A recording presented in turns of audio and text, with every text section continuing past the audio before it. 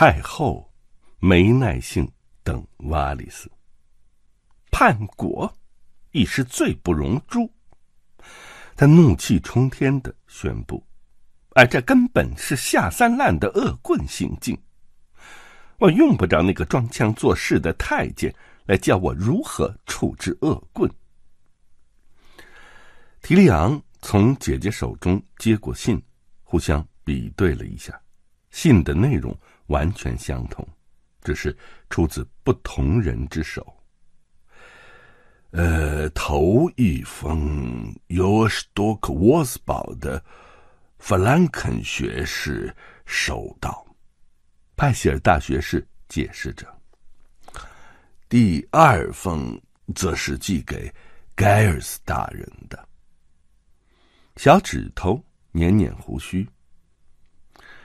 斯丹尼斯连他们都寄，那不用说，七大王国里每家贵族。肯定都有一份。我要把这些信统统烧掉，一封也不留。瑟西表示，绝不能让任何一点风声传到我儿子或是我父亲耳中。我看老爸而今听到的，只怕不只是一点风声而已。迪良冷冷的说。想必斯丹尼斯早就派了鸟去凯岩城和赫伦堡，至于把信烧掉有什么意义呢？正所谓覆水难收，寄出去的信已经收不回来了。何况说实话，信里写的其实没那么糟。瑟西转身睁大那双碧眼，怒视着提里昂：“你到底有没有脑筋？”你有没有看他写了些什么？他称我儿子为男童乔弗里，还竟敢指控我乱伦、通奸和叛国。难道他说错了吗？瑟西明知这些指控完全属实，却依旧做事如此，真叫人大开眼界。倘若我们打输了这场仗，他应该转行去演戏。他实在是很有天分。斯丹尼斯需要借口来使他的叛乱合法化，你指望他写什么？乔弗里王子乃我长兄之嫡子和合法继承人，我将，呃，势必起兵与之争夺王位。我绝不许别人骂我娼妇。哎呦，干嘛呀，姐姐？他可没说詹姆付你钱了。提梁装腔作势的读信，看到了一些琐碎的文句。奉承真主，明光照耀。他念道：“这真是奇怪的措辞。”白希尔清清喉咙。这句话时常在自由贸易城邦的书信和文件中出现。他的意思就类似写于诸神见证之下。这里的真主指的是红袍僧信奉的神。我相信这是他们的习惯用法。记得前几年瓦里斯说，塞利斯夫人似乎着了红袍僧的道。小指头。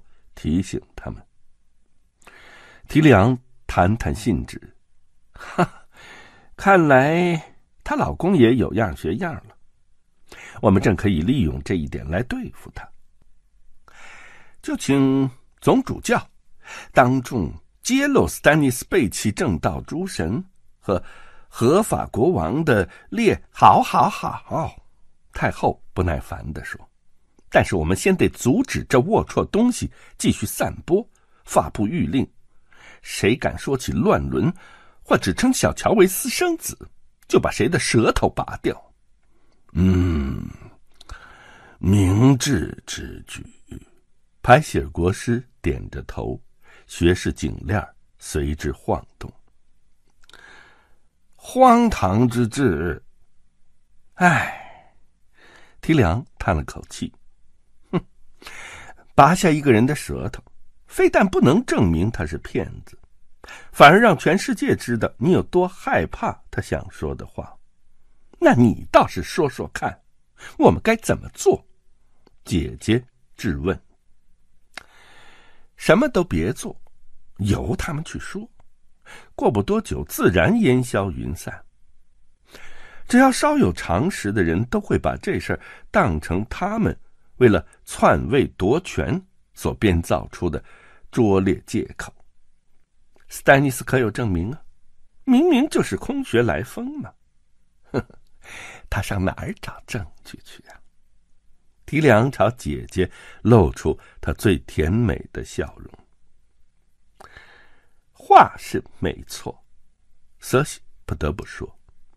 可是，陛下，您弟弟说的没错。贝提尔·贝利西十指交搭。假如我们试图制止谣言，这会显得真有其事。还不如嗤之以鼻，反正不过是个可笑的谎言。同时呢，我们可以以其人之道还治其人之身。瑟西打量了他一眼，怎么个还治其人之身？哼，编个同样性质但更容易取信于人的故事。斯丹尼斯大人自结婚以来。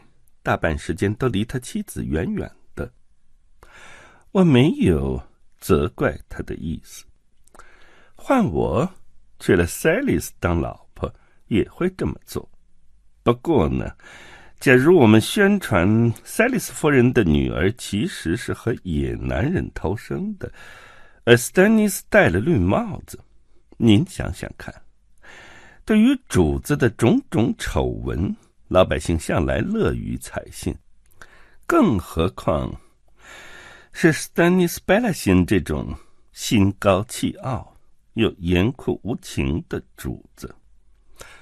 他从不受百姓爱戴，这没错。嗯，瑟西沉吟半晌，所以我们用同样的方法回敬他。嗯，这主意不错。我们该把谁说成赛丽斯夫人的情夫呢？记得他有两个兄弟，还有个伯伯一直跟着他待在龙石岛。啊，亚塞尔·弗罗伦爵士是他的代理城主。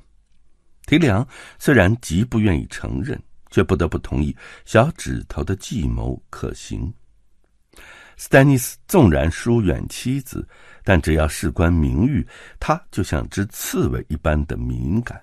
更何况他天性多疑，如果能在他和弗洛伦家族之间种下猜忌的种子，对他们有利无害。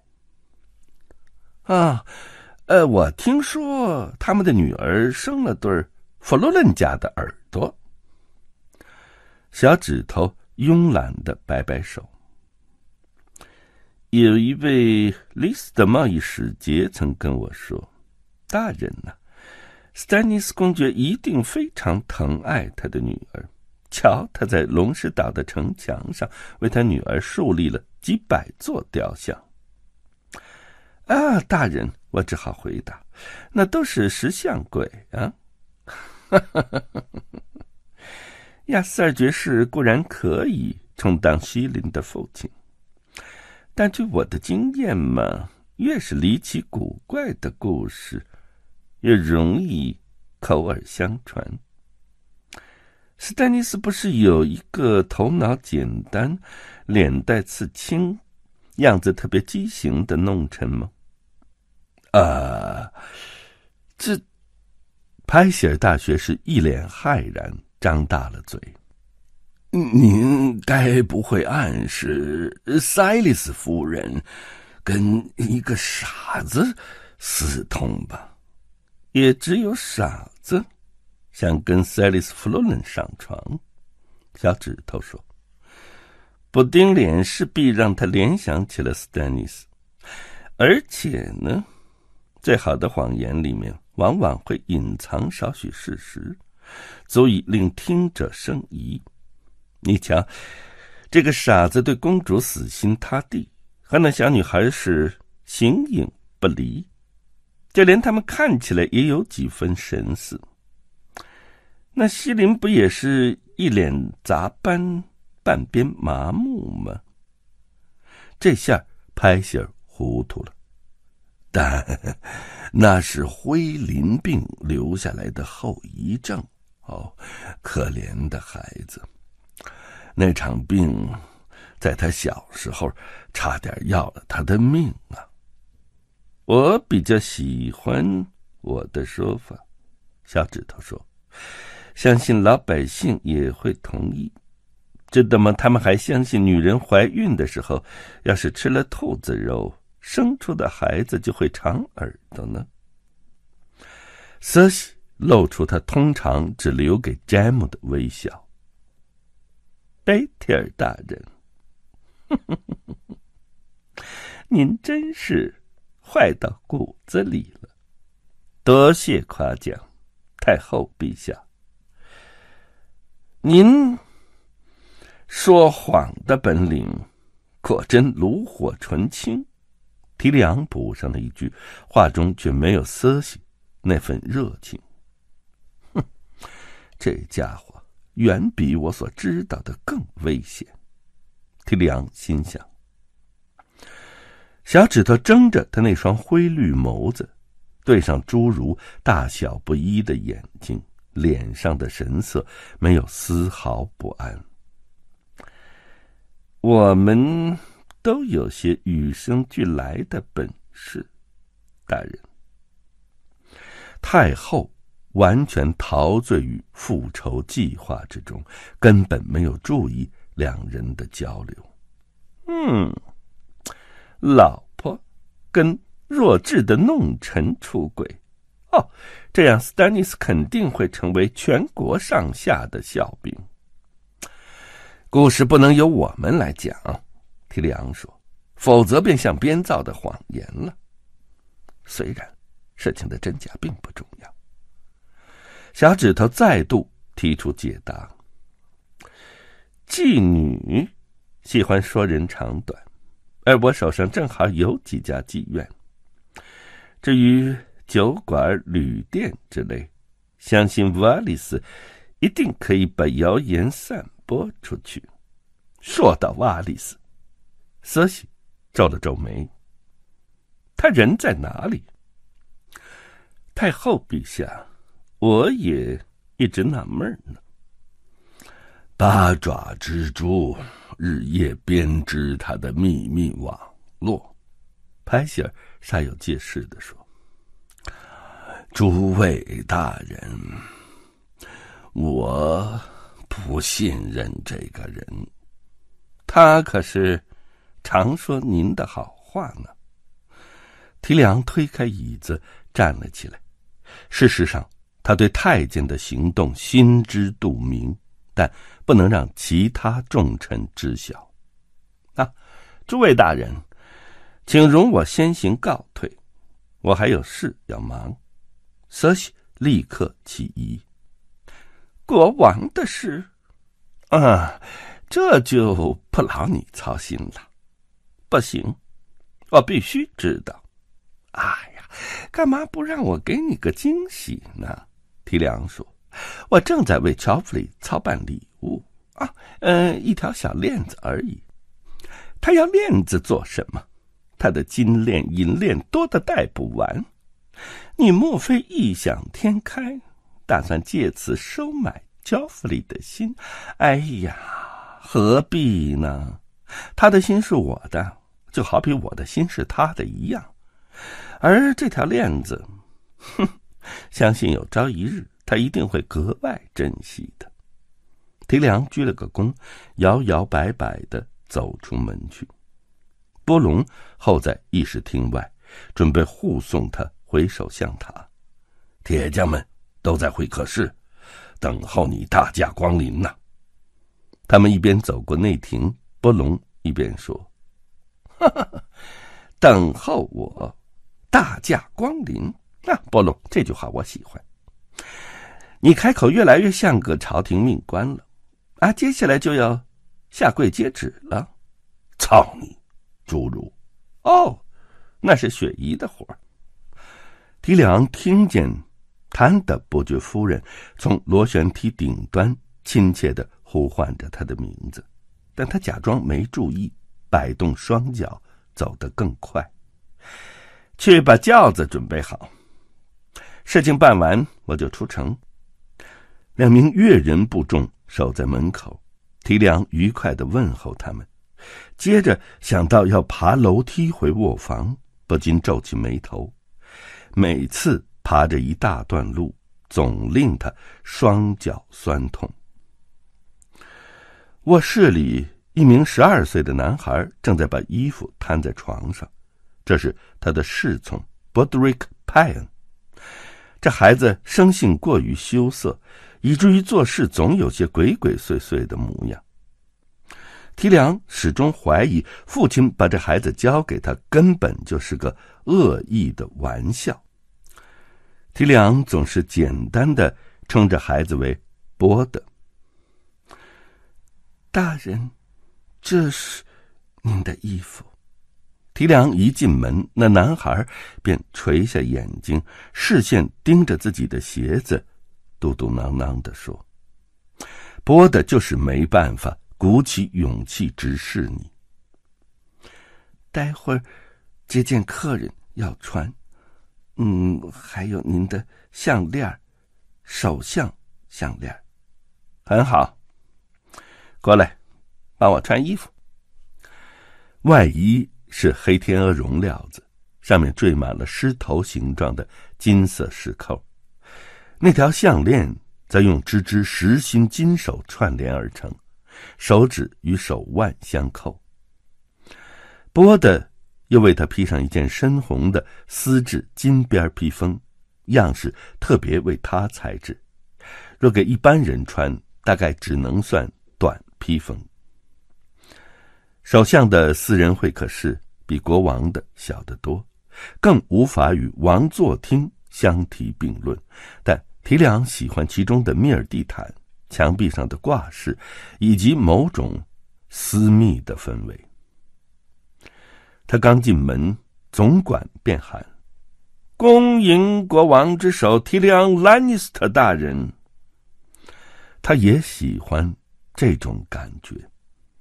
波隆召集的这群铁匠、武器师和五金商人一听，纷纷跪下。他爬上金色圆窗下的高位，示意众人起身。啊，各位师傅，我知道你们事务繁忙，所以呢，也不多废话。啊，波德，麻烦你。男孩递来一个帆布袋，提梁拉开束带，将袋子里的东西倒出来。金属在毛毯上发出模糊的“通”的一声。这是我吩咐城堡的锻工所打造的，类似的东西，我还要一千个。一名铁匠弯身仔细检视，三节粗大的钢链彼此扭在一起，啊，非常刚硬的链子。刚硬是刚硬，可惜太短。侏儒回答：“跟我有点像。我要的成品比这长很多。啊，对了，你叫什么？呃，回大人，大家叫我铁肚子。这名铁匠个子不高，长得十分粗壮，身穿普通的羊毛衣和皮衣，但那双臂膀粗的像牛脖子一样。我要君临城里每一家铁铺。”都着手打造这种链子，然后串起来。其他工作统统放下。我要所有懂得打铁的人都投入这件工作，不管有没有厨师，是不是学徒。但我骑马经过钢铁街的时候，我希望听到铁锤日夜不停的敲打。我还需要一个人，一个能干的人，来负责监管这件事。铁肚子师傅，你认为你是这样的人吗？就算我愿意吧，大人。可太后要的那些盔甲和刀剑怎么办呢？另一个铁匠说话了：“太后陛下命令我们加紧制造盔甲刀斧，为数庞大。据说要给新募的金袍军用。大人，那个不急。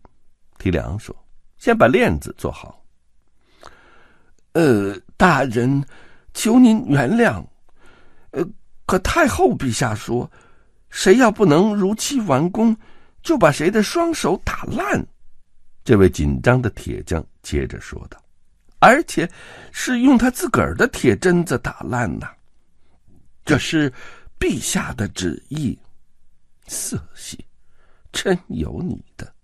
哼，想尽一切办法让老百姓爱戴我们啊！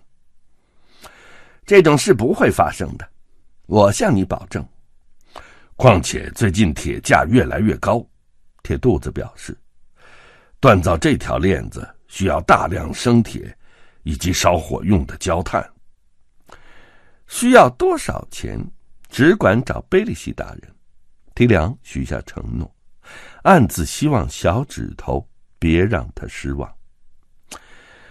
此外呢，我会命令都城守备队协助你们搜寻生铁，倘若必要，把城里每一只马蹄铁都熔掉也行。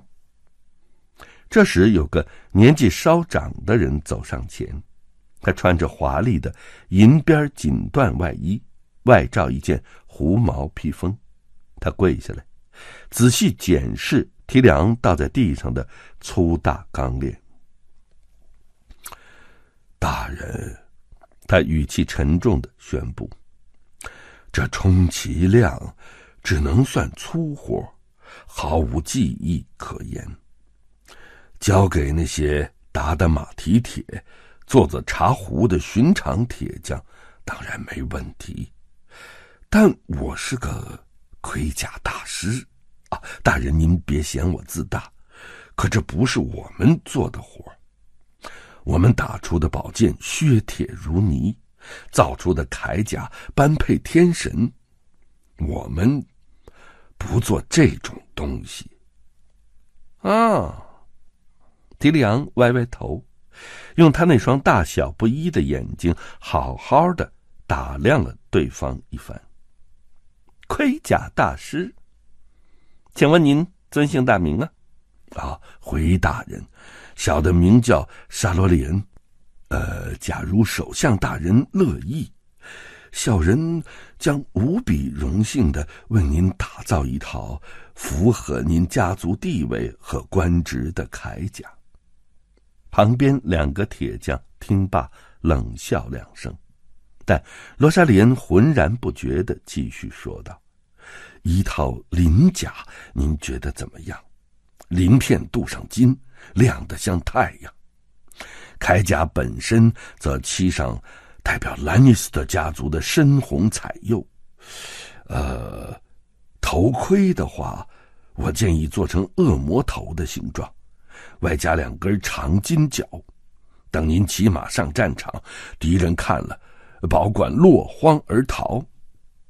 哼，恶魔的头，提梁懊恼的想：这别人把我都当成什么了？沙罗里恩师傅，我打算就坐在这张椅子上指挥战局，而我要的是精致铁链，不是头上长角。所以我这样说吧。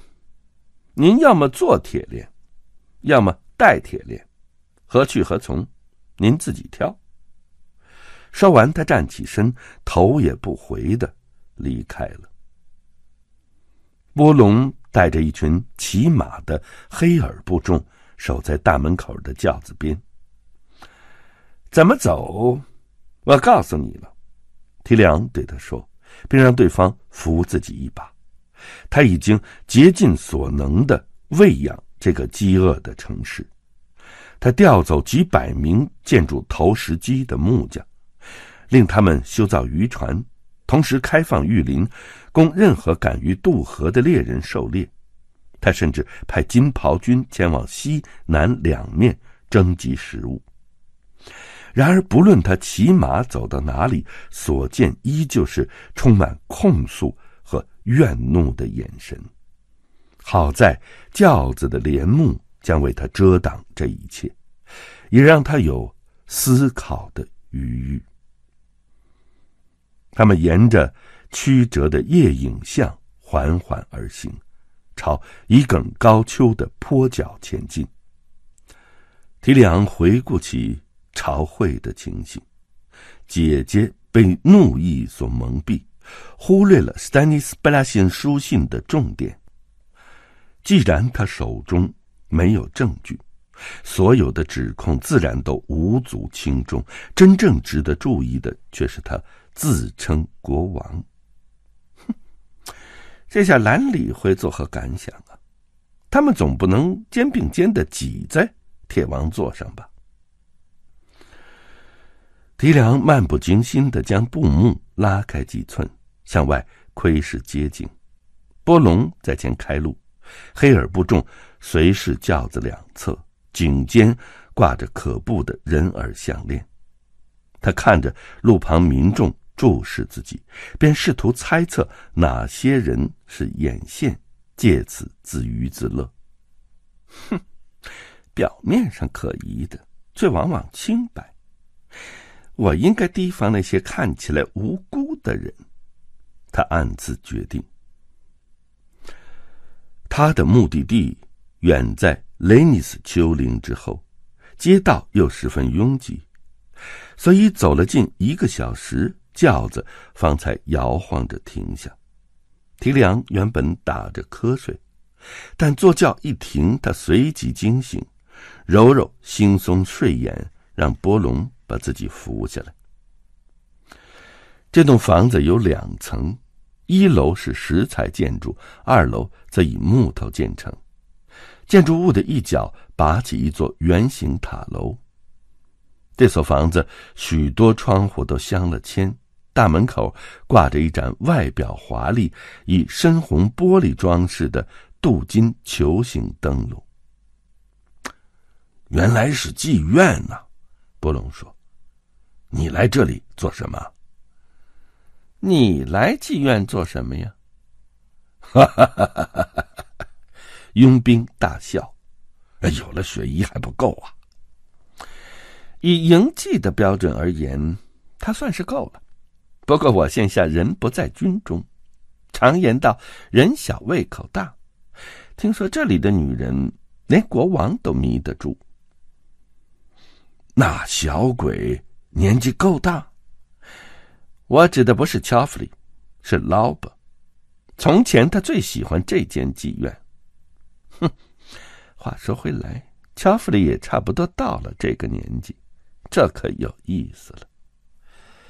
你和黑尔布的人想来点乐子的话，尽管自便。但我有言在先，沙特亚这家店所价不菲。这条街上随便哪家都比这里便宜。总之，你留个人在这里等我，到时候他要有办法把其他人都找到。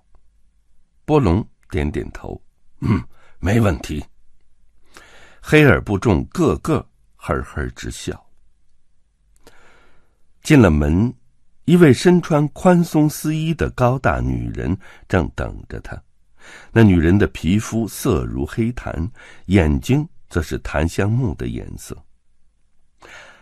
我是沙雅塔，他深深一鞠躬，唱道：“您就是……咱们别谈这个，名字是危险的东西。”空气中充满异国香料的气味，脚下的马赛克地板则是一幅描绘男女交欢的图案。嗯，你这里很漂亮，这是我致力追求的目标。很高兴首相大人喜欢。他的声音有如流动的琥珀，掺杂了几许盛夏群岛的口音。头衔也同样危险啊！提梁警告对方：“叫几个女孩出来给我瞧瞧。”乐意之至，您会发现她们个个温柔美丽，精通各种爱欲之术。那女人优雅的旋身开步，提梁费力摆动只有那女人一半长度的腿脚，紧随其后。他们走到一个装饰华丽的密尔屏风后，暗暗向外窥探。屏风上雕刻了奇花异草以及梦寐闺女的图案。妓院大厅里有个老人正以笛子吹奏轻快的乐曲。一个留着紫色胡须、喝得醉醺醺的泰洛西人坐在摆满靠垫的壁龛里，爱抚膝上体态丰满的少女。他已经解开了少女的蕾丝上衣，正拿杯子往少女的胸部倒酒，然后用舌头舔净。另有两个女孩坐在镶嵌玻璃窗下玩瓦片棋，其中生雀斑的那位一头蜂蜜色秀发。发髻带着蓝色花环，另一个皮肤平滑柔顺，有如磨亮的黑玉，生着一双深色大眼，以及小巧而坚挺的乳房。他们穿的宽松丝衣，用珠子串成的饰带系在腰间。阳光从彩色玻璃窗流泻进屋，透过轻薄罗衫，勾勒出他们。年轻曼妙的动体曲线，提梁顿时觉得胯下一阵肿胀。如您不嫌弃，我推荐那位黑皮肤的女孩。沙塔亚说：“她好年轻啊，大人，她已经十六岁了。给乔弗里正好。”提梁想起波隆刚才的话。不禁这么想。提梁的第一次时年纪更小，他还记得头一次脱下女人衣服的时候，那女人羞涩的模样。那女人有一头黑亮长发，还有能让人沉醉其中、无法自拔的蓝眼睛，而提梁果真如此。哼，这是好久以前的事儿了。侏儒，你真是个无可救药的笨蛋。这女孩从你家乡得来，大人，我女儿体内虽然流着盛夏国度的血液，却是在君临出生的。想必提梁的惊讶形现于色，沙塔亚又接着说：“我的民族认为，在青楼卖笑。”并非耻辱之事，在盛夏群岛，咸于床子技艺者受人敬重。许多贵族男女在春思来潮之后，便会进入花门柳户服侍数年，借以荣耀天上诸神。这与天上诸神何干？我们的肉体和灵魂都拜天上诸神所赐，不是吗？他们赐给我们声音。好让我们借由歌唱表示崇敬，他们赐给我们双手，好让我们通过劳动兴建庙宇；他们也赐给我们欲望，好让我们透过交合尊荣神灵。嗯，记得提醒我把此话转告总主教。提梁说：“哈，倘若那话儿也能做礼拜。”想必我也是个虔诚之人，哈！他摆摆手，我很乐意采纳你的选择。我这就去把女儿叫来，请这边走。女孩在楼梯口与提梁相见，她比雪姨高，但比她母亲稍矮，她得跪下来，提梁才能亲得到她。我叫艾拉雅雅。和母亲不同，这女孩只有极轻微的异国口音。大人，请随我来。女孩牵起提梁的手，走上两段阶梯，再穿越一个宽敞厅堂，两旁是众多紧闭的门扉。一扇门后传来欢愉的喘气与尖叫，另一扇门内则是嬉笑和低语。提里昂的那话硬了起来，紧紧贴上裤子。再这样下去，可要面子不保。他一边想，一边随埃拉雅雅步上另一座楼梯，来到角楼房间。这里只有一扇门。埃拉雅雅领他进去，然后把门锁上。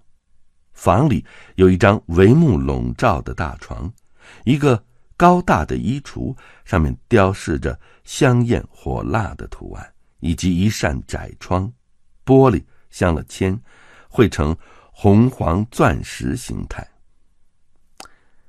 艾拉雅雅，你真是漂亮。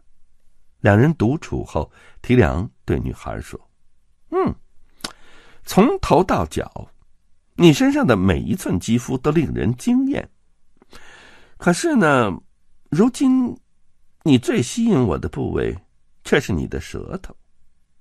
大人，我的舌头被调教的很好，从小就学会什么时候该用，什么时候不该用。”很好，提里昂微微一笑。接下来，我们做什么？你可有好提议？有的，女孩说：“大人只需打开衣橱，便能找到想要的东西。”提里昂轻轻吻了吻女孩的手，然后爬进空旷的衣橱。艾拉雅雅则在他身后把橱门关上。他伸手在黑暗中摸索，寻找衣橱后的壁板，板子在他手下开始移动，然后整个被推到一旁。墙壁后空空的，漆黑一片。但经过一阵试探，终于摸到了金属。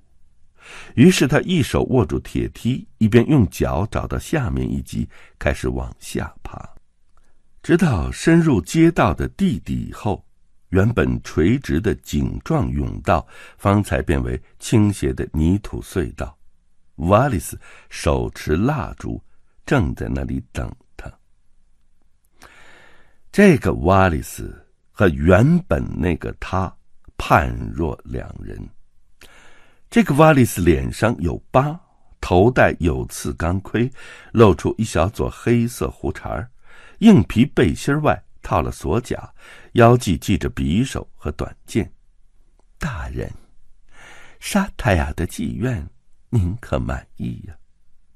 满意极了，提良表示。你确定这女人值得信赖？大人呐，在这个变幻莫测、诡谲难料的世界上，我什么都不敢确定。不过呢。沙太雅对太后素无好感，他也知道，之所以能除去亚拉尔迪姆这个讨厌鬼，全是拜您所赐。哦，我们走吧。瓦里斯迈开步伐朝隧道深处走去。他连走路的方式都变了。提梁察觉到了，瓦里斯浑身散发着。烈酒和大蒜的味道，而并非平日的薰衣草香。我挺喜欢你的这套新行头。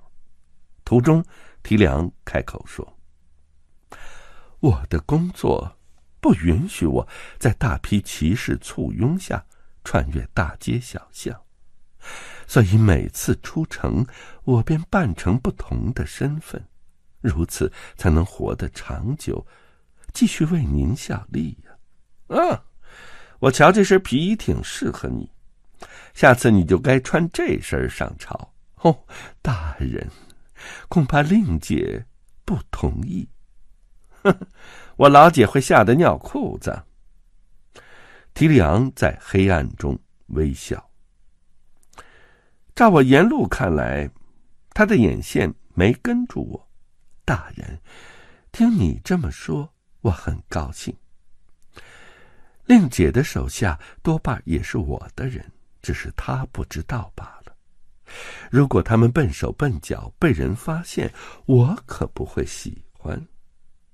啊，要是这么憋住一身欲火，大费周章的爬过衣橱，结果半点用都没有，我也不会喜欢的。绝不会没用的，瓦里斯向他保证。他们的确知道你在这里。至于会不会有人大胆到装成恩客，闯进沙特亚的妓院里来，我心里虽不敢说，但哦，小心谨慎总是没错的。这妓院怎么刚好有个秘密通道呢？哦，通道是另一位首相挖的，因为自重身份，他不愿意光明正大的来这里。对于这个通道，沙他呀可是守口如瓶。但你却知道，小小鸟儿总往黑暗的通道里飞吗？哦，小心楼梯陡着呢。他们从一间马厩后面的暗门走出，大约在雷尼斯丘陵下穿越了三条街的距离。提里昂把门轰的一声关上，栏里有匹马嘶鸣开来。瓦里斯吹熄蜡烛，将其放上梁架。提里昂环顾四周，马厩里一共有一头驴和三匹马。他跛着脚走到那匹花斑马身旁。看了看马的牙齿，哈，这是匹老马。他说：“只怕一跑就得断气儿。”他的确不是打仗的料，瓦里斯回答。但用来代步足矣，且不会引人注目。其他几匹也一样。至于那马厩小厮嘛，他眼中所见、耳中所闻，都只有动物而已。太监从墙上钉着的钉子上取下一件斗篷，斗篷是粗布制成，被太阳晒得褪了颜色，破旧不堪，唯有剪裁十分宽松。希望您别嫌弃。说着，他为提梁披上斗篷，将提梁从头到脚包裹住，还把兜帽拉了下来，让脸沉浸在阴影中。一般而言，人只会看到自己想看的东西。瓦里斯一边为提梁穿衣，一边说：“侏儒不像小孩那么寻常可见，所以他们眼中所见只是一个身穿旧斗篷的小男孩，骑着老爸的马外出替老爸跑腿儿。哦，话虽如此。”您还是晚上来，比较保险。正合我意。往后一定采纳。此时此刻嘛，雪姨正等着我呢。提里昂把雪姨安顿在君临东北角的一座大宅里，房子筑有围墙，离海不远。可提梁不敢去那里探望他，生怕被人跟踪。您骑。哪匹马？提梁耸了耸肩，哈，嗯，就这匹吧，我来为您配鞍。太监自钉子上取下鞍辔，提里昂整整厚重的斗篷，焦躁的踱步。你错过了一场很热闹的会议，斯丹尼斯似乎自立为王了，我知道。他指控我老姐和老哥乱伦通奸，真不知道他是打哪儿知晓的。或许他读过什么书，又看到劳勃私生子的头发的颜色，就像艾德·史塔克还有之前的琼恩·艾琳一样。又或许有人告诉他了。太监的笑声不像他寻常的咯咯笑，而是一种更深沉、更粗哑的声音。比如说，你这种人，你怀疑我？啊，不，不是我说的。就算是你说的，你会承认吗？不会。但我既已保守了秘密这么久，何必要把它讲出去？欺君罔上不难。但要瞒过草丛里的蟋蟀和烟囱里的小小鸟，可没那么容易。更何况，那些私生子就摆在那里，大家不都看得到吗？劳勃的私生子，他们怎么回事？就我所知，他生了八个。瓦利斯一边摆弄安佩，一边说：“不管孩子的娘头发是古铜色、蜂蜜色、栗子色，还是奶油黄，生下的孩子头发全都黑的跟乌鸦一样。哦，感情他们的运气也和乌鸦的消息差不多。你瞧啊，乔弗里、米塞拉和托曼。”从令姐的肚子里蹦出来的时候，每个人的头发都金黄的像太阳，事实不就显而易见了吗？提梁摇摇头，她只需为丈夫生一个孩子，便足以驱散谣言了。但话说回来，那就不像是瑟西了。不是你说的，那是谁？啊，想也知道，铁定是个叛徒嘛。瓦里斯紧了紧马鞍的肚带。小指头，哦，这我可没说。提梁让太监扶他上马。瓦里斯大人，他坐在马鞍上，说：“有时候。”我觉得全军临城里，就属你，算我最好的朋友。可有时候我又觉得，你是我最可怕的敌人。这可奇了，大人，咱们真是彼此彼此。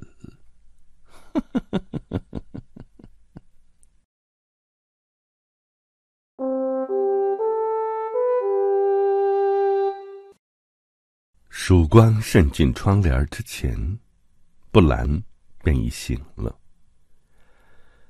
林东城到了许多客人，都是来参加丰收宴会的。今天早上，他们会在场子里练习戳刺毛把。若是从前，布兰定会为此兴奋难耐，但那都是意外发生之前的事了。而今，一切都不一样了。大小瓦德可以和曼德雷大人手下的侍从切磋枪技，却没有布兰的份儿。他得待在父亲的书房里，扮演王子的角色，用心聆听，说不定你能从中学到统御他人的技巧。鲁温师傅说。布兰不想当王子，他的梦想一直是成为骑士。闪亮的铠甲，飘动的旗帜，持枪佩剑，身跨战马。为什么他要日复一日的听老人家谈论这些他听着一知半解的事情呢？因为你是个残废啊！心里有个声音提醒他。安坐高堂的领主老爷有点缺陷，没关系。大小瓦德就说他们的祖父因为过于虚弱，上哪儿都得坐轿子，但骑马打仗的骑士就不同了。说到底，这也是他职责所在。你是你哥哥的继承人，是林东城史塔克家族的代表。罗德里克爵士说：“爵士提醒布兰，从前当诸侯们前来觐见他父亲的时候，罗伯也都会在场作陪。两天前，威曼曼德勒伯爵刚从白港抵达，他先搭游艇，后乘轿子，只因他过于肥胖，无法骑马。”他带来大批手下、骑士、侍从、小领主和他们的太太、传令官、乐师，还有个杂耍班子，旗帜和衣着耀眼夺目，五光十色。布兰坐在父亲的高背儿冰原狼扶手石椅上，欢迎他们光临林东城。事后，罗德里克爵士称赞他表现很好。如果事情到此为止，那该有多好！只可惜，这仅仅是开始。参加宴会是个不错的借口，罗德里克爵士解释，但他大老远的跑来，绝不只是为了吃片烤鸭、喝口美酒，一定有要紧事，需我们经手，才会这么大费周章。布兰抬头望向粗石屋顶，他知道罗伯一定会叫他别再孩子气。他几乎能听到罗伯的话语，听到父亲大人的话语。凛冬将至，而你已经快成年了，布兰。你有责任在身。过了一会儿，当侯德口中哼着不成调的曲子，笑容满面的跑进来时，小男孩已经认了命。在豪德的帮助下，他梳洗了一番。今天，穿那件白色的羊毛外衣，布兰命令。还有那个银胸针。罗德里克爵士要我穿的有领主的样子。其实，只要力所能及，布兰宁可自己更衣，但有些动作，比如穿裤子、系鞋带，很折磨人。有侯的帮忙，做起来就快多了。任何事只要教过一遍，他就能灵巧的完成。侯德虽然力量惊人，动作却十分温柔。我敢打赌，你本来也可以当骑士。布兰对他说：“若非诸神夺走了你的智慧，你一定是个伟大的骑士。”欧德。霍特眨眨那双天真无邪的棕色大眼睛，一脸茫然。是的，布兰说。好的，他指指墙壁。门边的墙上挂了一个篮子，用柳条和皮带紧扎而成，上面挖了两个洞，以让布兰的双脚伸出。奥德将手伸进背带。并把宽皮带紧扣在胸前，然后在床边蹲下来。布兰抓住墙上的铁把手，摇晃软弱无力的双脚，把它们放进篮子，伸出足洞。好的，奥德重复一遍，站起身来。马童高近七尺，骑在他背上，布兰的头几乎要碰到天花板。出门时，他刻意压低身子。有一次，侯斗闻到烤面包的香味儿，便朝厨房奔去，把布兰的头撞出一个大洞。为此，鲁文学士帮他缝了好几针。后来，米肯从兵器库里拿了顶生锈的老旧头盔给他，这盔连面罩都没有。大小蛙的每次见了就大肆嘲笑，所以布兰很少戴。他双手搁在欧德肩头，两人慢慢步下螺旋梯。外面的教场传来阵阵剑盾交击声和马蹄轰鸣声，这些声音在他耳中都成了悦耳之音。我只看一眼，布兰心想。飞快的看一眼就走。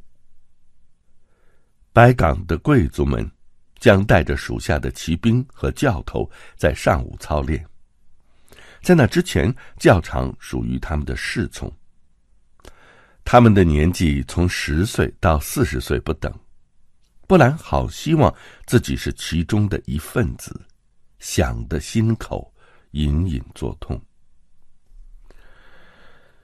庭院里立了两个毛把，每个皆以坚固的支柱为主干。撑着一根回转大梁，梁的一端是盾牌，另一端是加垫的撞锤。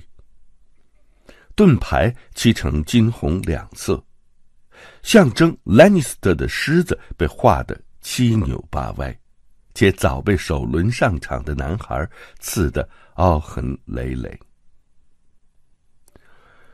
坐在篮子里的布兰刚一现身，立刻吸引了陌生人的目光。好在他早已学会了忽略和容忍。他告诉自己，至少自己视野良好，在侯德肩上，他比任何人都要高。他看见蛙的两兄弟正准备上马，他俩从滦河城带来了上好护具，闪亮的银铠甲露了兰花。大蛙的的头盔是城堡形状，小蛙的则在盔顶。系上一串灰蓝相间的丝带，他们的盾牌和外衣也不相同。小瓦德的纹饰分成四份，除了弗雷加双塔外，还有外祖母克雷赫家的斑纹野猪和母亲戴瑞家的农人。大瓦德的四份则包含了布莱伍德家的鸭树和贝吉家的双蛇。想必他们对荣耀求之若渴吧。布兰一边想，一边看他们端起长枪。我这个是他可能需求的，却只有冰原狼的陪伴。他们的灰斑战马行动敏捷，体格健壮，训练有素。两人并肩冲向毛把，利落的击中盾牌，并在撞锤转过来之前抽身跑开。小蛙的。刺的比较狠，但布兰认为大蛙的骑的比较稳健。如果能和他们一较高下，他宁愿舍弃无用的双脚。小蛙的抛下断裂的长枪，瞥见布兰便勒住缰绳。哟，这匹马可真丑！他对霍德说。霍德不是马，布兰说。呵。呃，好的。大蛙的跑到堂弟身边。是呀，他不比马聪明，大家都知道。几个白港来的小伙子互相推挤，笑出声来。呵呵，好的。好的，一脸笑容看着两个弗雷家的男孩，对他们的嘲弄毫不知情。好的，好的。小瓦德的坐骑嘶了一声：“你瞧啊，他们在聊天呢，说不定奥多就是马语当中的‘我爱你’啊。”弗雷，你给我住口！布兰只觉得血气上涌。小蛙的轻踢马刺靠过来，撞了奥多一下，使他退后两步。我若是不住口，你你又待如何呀？小心他放狼咬你，堂弟！大娃的警告。随他来呀，我就想弄件狼皮披风呢。夏天会一口咬掉你那颗猪头，布兰说。小蛙的用带铁套的拳头往胸甲上一敲。难道你的狼生了钢牙？可以咬穿我的铠甲和锁甲吗？够了！鲁温学士的话音盖过教场里的金铁之声，有如雷鸣。布兰不知道鲁温是否听见了多少，但明显足以使他勃然大怒了。你们语出威胁，十分不妥。别叫我再听见这样的话，瓦德弗雷，你在滦河城也是这种态度吗？没错，我高兴怎样就怎样。小蛙的高高骑在战马上，愠怒的瞪了鲁温一眼，仿佛在说：“你区区一个学士，凭什么教训我河渡口弗雷家的人？”那好，你既身为林东城史塔克夫人的养子，就不准如此。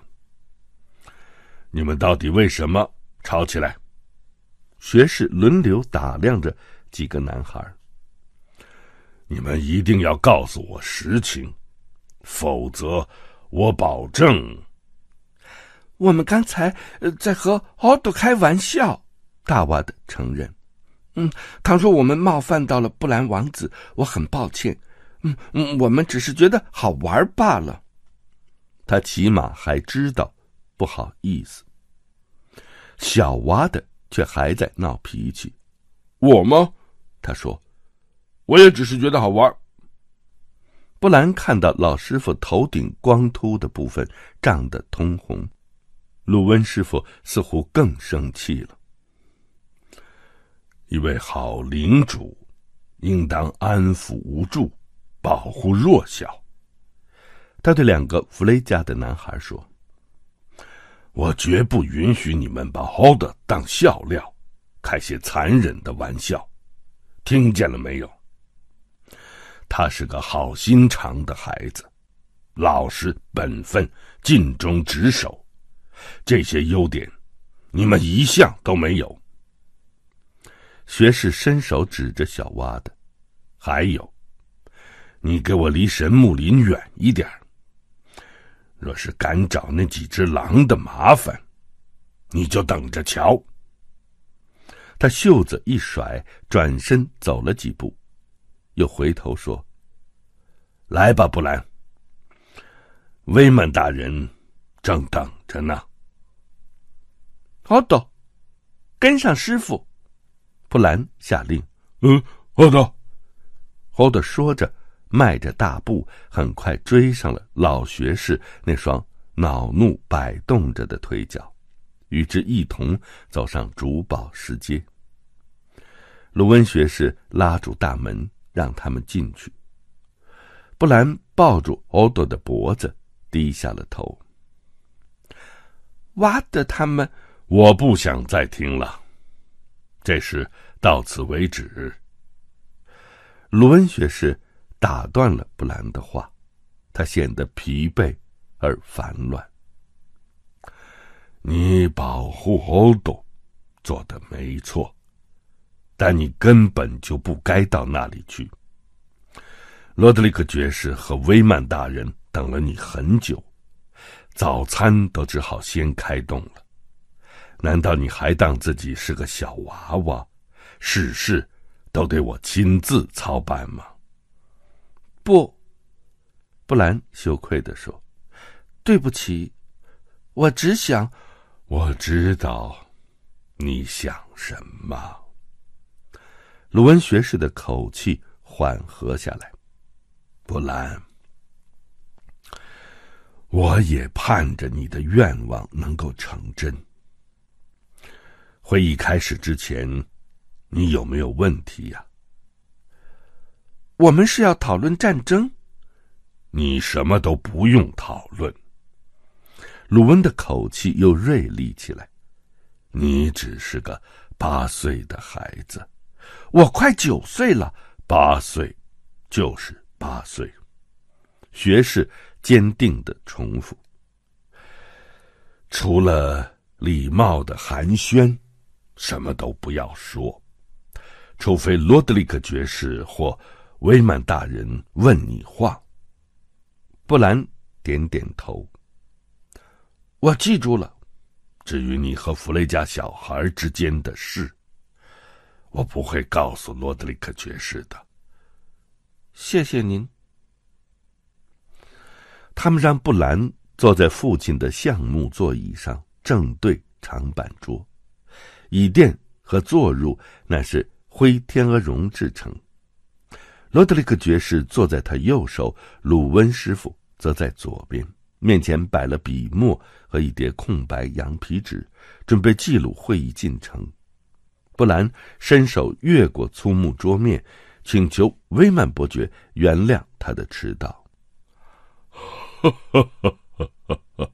啊，不是王子迟到，白岗伯爵和颜悦色的回答，而是其他人早到，就是这么回事儿。威曼·曼德勒笑声洪亮。难怪他没法骑马，因为他看起来比马还重。他不仅身材雄伟，而且话说个没完。他先是恳请林东城认可他刚刚指定的白港海关人员，只因从前的官员把税收暗中扣留下来，输送到君临，而不肯交给新的北境之王。呃，除此之外，罗伯国王也需要自行铸币。他表示，而重建白港的旧铸币厂最为合适。他说：“只要国王同意，他愿意全权负责此事。”随后，他又说明自己将如何加强港口的防御工事，并把每一项修缮费用详细列出。除了铸币厂，曼德勒伯爵还提议为罗伯建造一支舰队。自从焚船者布兰登烧掉他父亲的船队以来，我们北方几百年来都缺乏海军。只要给我充足的金钱，一年之内，我就可以造出一支足以拿下龙石岛和君临的舰队。一听战船，布兰的兴致就来了。虽然没人。问他意见，他却觉得威曼伯爵的主意实在很棒。他已经可以在脑海中勾勒出那幅景象了呢。不知双脚残废的人能不能指挥战舰？只可惜罗德里克爵士只答应把提案送交罗伯决定，而鲁温师傅则是埋头奋笔疾书。他们从上午直说到。下午，中途鲁温学士派马里尔提姆去厨房端来餐点，他们便在书房里吃了乳酪、烤鸡和褐色的小麦面包。威曼大人一边用他粗大的手指撕扯鸡肉，一边礼貌的询问他的堂妹霍伍德伯爵夫人的近况。您也知道，他原本是曼德勒家的人。或许，等他的悲伤告一段落，他会想再次冠上曼德勒的姓氏。您说是吧？他咬了口鸡翅，咧嘴笑笑。说来正巧，我也当了八年的官夫，早该讨个老婆了，对不对呀，诸位大人？孤单单一个人，毕竟会寂寞呀。他扔开骨头，伸手拿了一根鸡腿儿。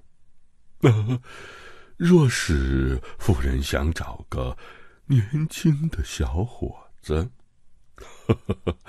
我家文德尔也没有成亲呐。眼下他到南方伺候凯特琳夫人去了。不过等他回来，一定也想讨老婆吧？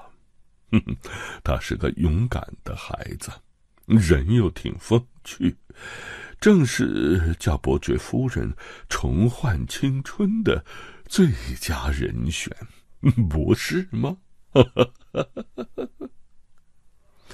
他操起外衣袖子，抹去下巴上的油腻，透过窗户。布兰听着远处的兵器交击，他对婚嫁之事毫无兴趣。我好想上场子比武。等餐桌收拾干净，威曼伯爵方才提到一封泰温·兰尼斯特公爵的来信，内容涉及到他在绿岔河被俘的长子威利斯爵士。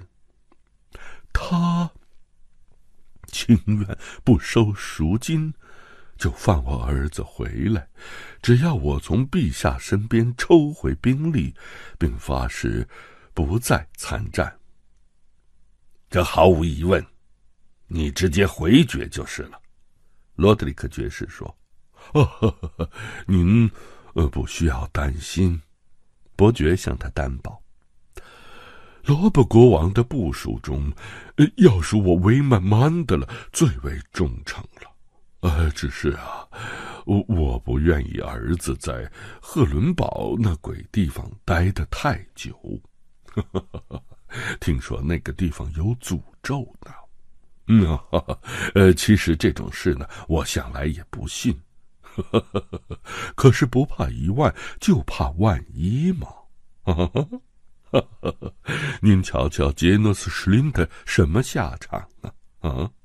先是被太后提升为赫伦堡伯爵，没两天又被他老弟扯了下来，听说被送去守长城了。我在想啊，能不能尽快安排适当的呃人质交换？喏，我了解威利斯，他一定不愿意坐等战争结束。我这儿子可英勇啊！打起仗来，跟獒犬一样的凶猛。会议结束时，布兰的肩膀已经因为长久坐着不动而僵硬了。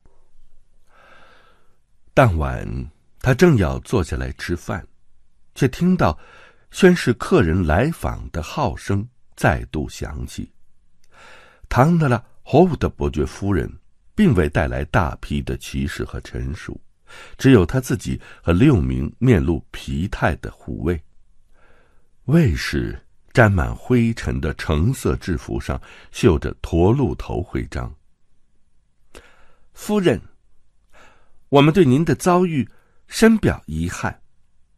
当伯爵夫人来到布兰面前致意时，布兰开口说道：“霍夫德伯爵在绿茶河之战中被杀。”他们的独子也在异域森林一遇害。林东城永远感念你们的贡献。听您这样说，我很高兴。伯爵夫人是个脸色苍白、神情涣散的女人，脸上的每根线条都镂刻着哀伤。大人，我很疲惫。若您允许我稍作休整，啊，我将感激不尽。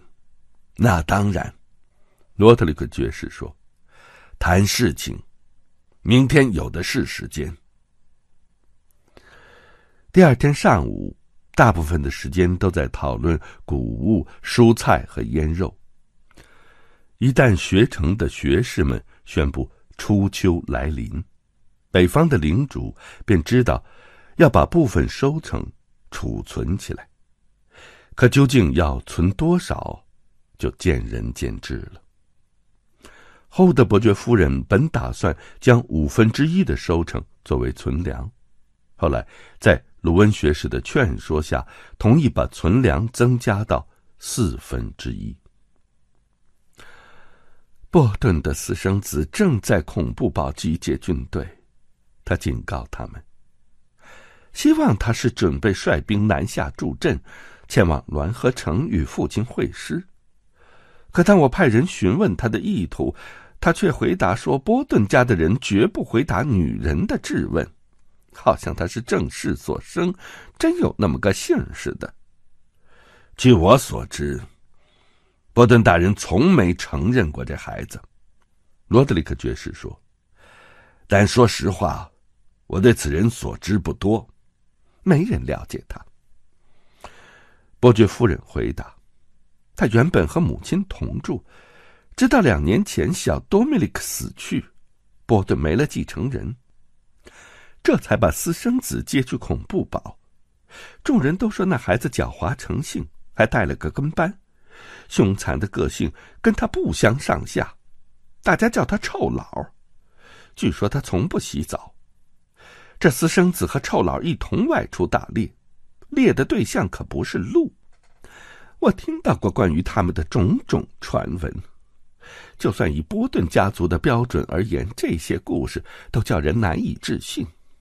而今我的夫君和好儿子都已蒙诸神宠召，这私生子对我的领地真是垂涎三尺。布兰好想拨给伯爵夫人一百士兵。帮助他保卫自家权益。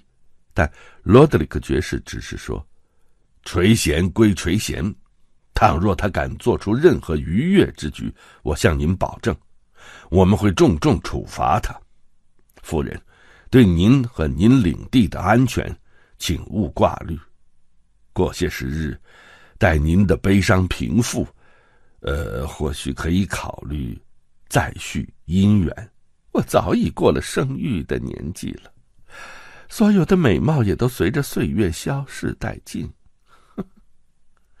伯爵夫人疲惫的浅笑着回答：“但眼下男人们反而趋之若鹜。我年轻的时候可没这种待遇。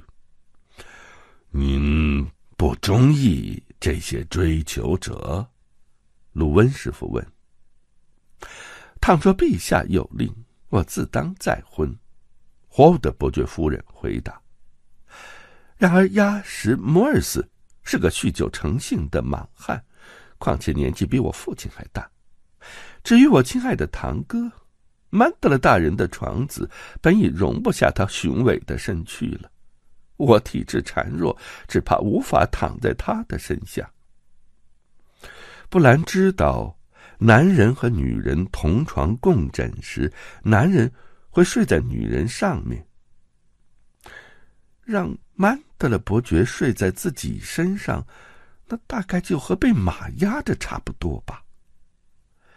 罗德里克爵士朝寡妇同情的点点头：“夫人，您会有其他人选的，我们将设法寻找更般配您的人。”爵士先生，这样的人或许不需远求。霍夫的伯爵夫人离开之后，鲁文学士微笑着说：“ 罗德里克爵士，我看夫人她，呃，对您有些意思啊。”呃。罗特里克爵士清清喉咙，看来有些困窘。他好悲伤啊，布兰说。罗德里克爵士点了点头，悲伤而温柔。他为人客气，以年纪而论，还可算是十分貌美。纵然如此，他仍旧是你哥哥的王国的一大威胁。怎么会？布兰。十分惊讶。鲁文学士作答：“既然霍沃的家族没有直系传人，他们的领地势必成为众矢之的。陶哈家族、菲林特家族和卡斯塔克家族都与霍沃的家族有过姻亲关系。已故的哈瑞斯大人的私生子，更在。”申林堡做格罗夫家族的养子。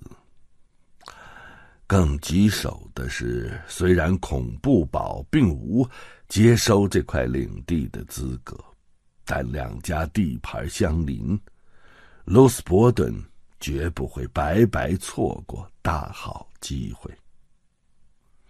罗德里克爵士拉了小胡子，嗯，以目前情形。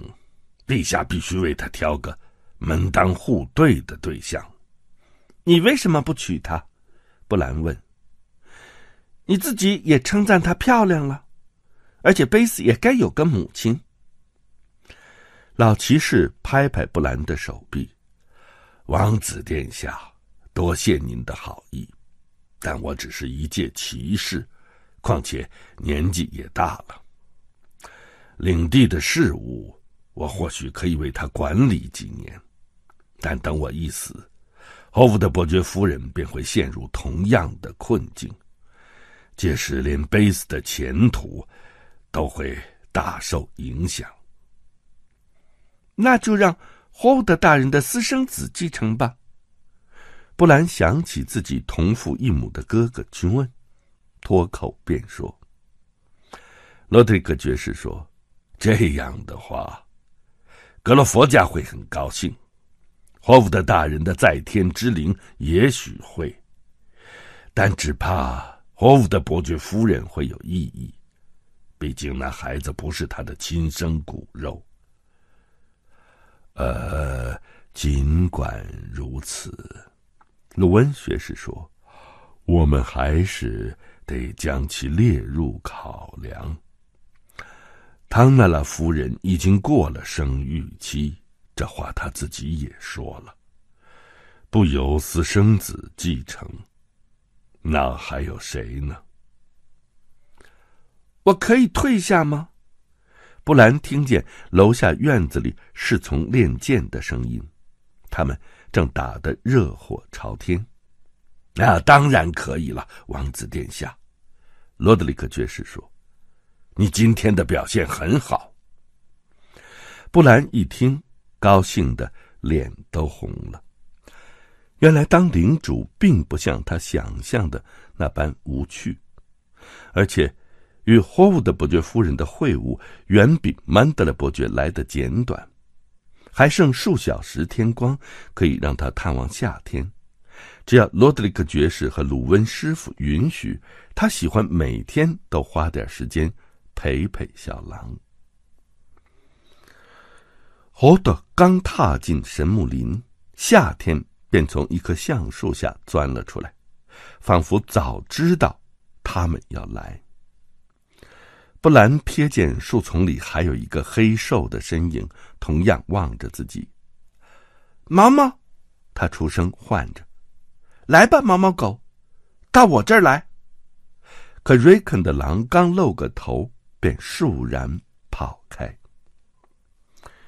侯德知道布兰喜欢的地方。于是把他带到高大新树下的水池边，以前埃德公爵便是在此跪地祈祷。他们抵达时，池中涟漪频频，鱼梁木倒影不住波动，可四周又没有风，布兰一时不解。突然，欧莎哗啦一声从池里冲了出来，连夏天。都被吓得后退低吼，欧多跳了开去，沮丧的嚎着：“欧多，欧多！”直到布兰拍他肩膀，方才抚平他的恐惧。“你在这儿游泳？”他问欧莎，“不冷吗？”“小子，我可是从小吮着冰柱长大的，哼 我喜欢这股冰冷的劲儿。”欧莎游到岩石边。浑身滴水的爬上岸，他全身赤裸，肌肤凹凸不平。夏天爬过来朝他嗅嗅。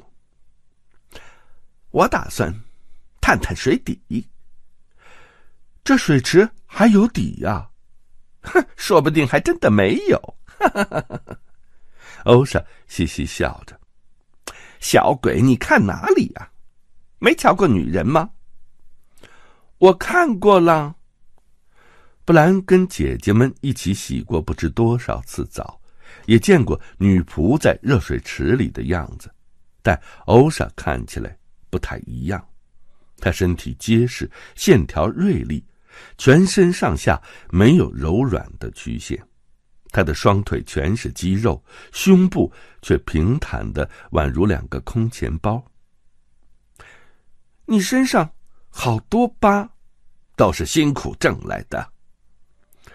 欧莎拾起棕色连衣裙，抖落上面的落叶，然后从头套下。跟巨人打仗吗？欧莎宣称，长城外仍有巨人存在。说不定哪天我也能亲眼看到呢。跟人，欧莎拿段绳子当腰带，通常。是和黑乌鸦，我亲手杀过一个。他说着，甩甩头发。到临东城至今，他已发长过耳，比起之前在狼林里打算抢布兰的那个他，模样柔和了许多。今天我在厨房里听说了你和弗雷家那俩小子的事儿。谁说的？他们怎么说？女人露出无奈的笑容。他们说，嘲笑巨人的小孩是蠢蛋。但巨人居然得靠残废来保护，这世界真是疯了。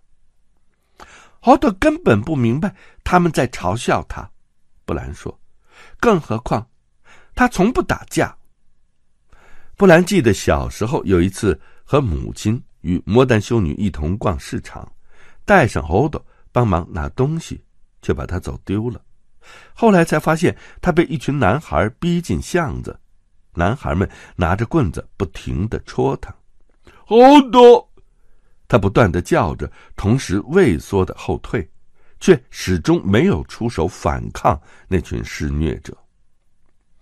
查尔修士说：“他有颗善良的心。”啊，是啊，欧莎说：“假如他愿意，他那双手满可以把人头从脖子上硬生生的扭下来。”哼，总之呢，他最好多提防小蛙的那家伙。你们两个都要小心。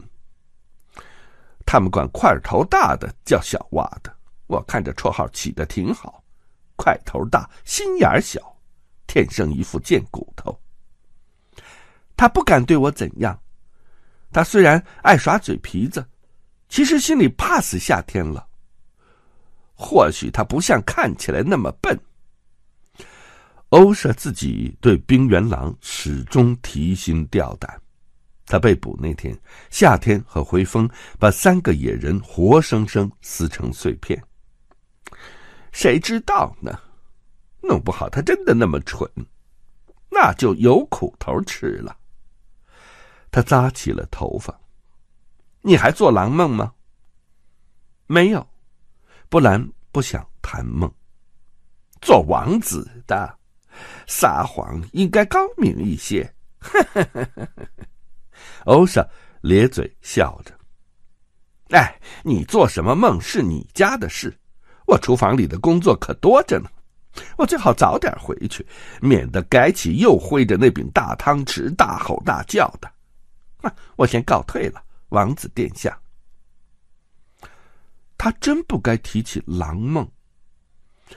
当 Hold 背着布兰爬上楼梯返回寝室时，布兰心想：他努力抗拒睡眠，最后却仍旧进入梦乡。今夜，他又梦见于良木睁大深邃的红眼睛凝望着他，张开扭曲的木嘴呼唤他。从于良木苍白的枝叶中飞出了那只三眼乌鸦，用嘴啄他的脸，用刀剑般尖锐的声音喊他的名字。一阵突如其来的号声唤醒了他。布兰坐起身，感激噪音将他带离梦境。他听见了马的嘶叫和嘈杂的吆喝。又有客人来了，从声音听来，这批人还喝得半醉。他拉住铁把手，坐到窗边的椅子上。对方旗帜上的图案乃是碎炼巨人，原来是。从墨江对岸的极北封地南下的安布家人马。隔天，安布家的两个首领前来会谈。这俩人都是大君恩的叔父，年事已高，但嗓门奇大，身穿白熊皮斗篷，胡子也是一般颜色。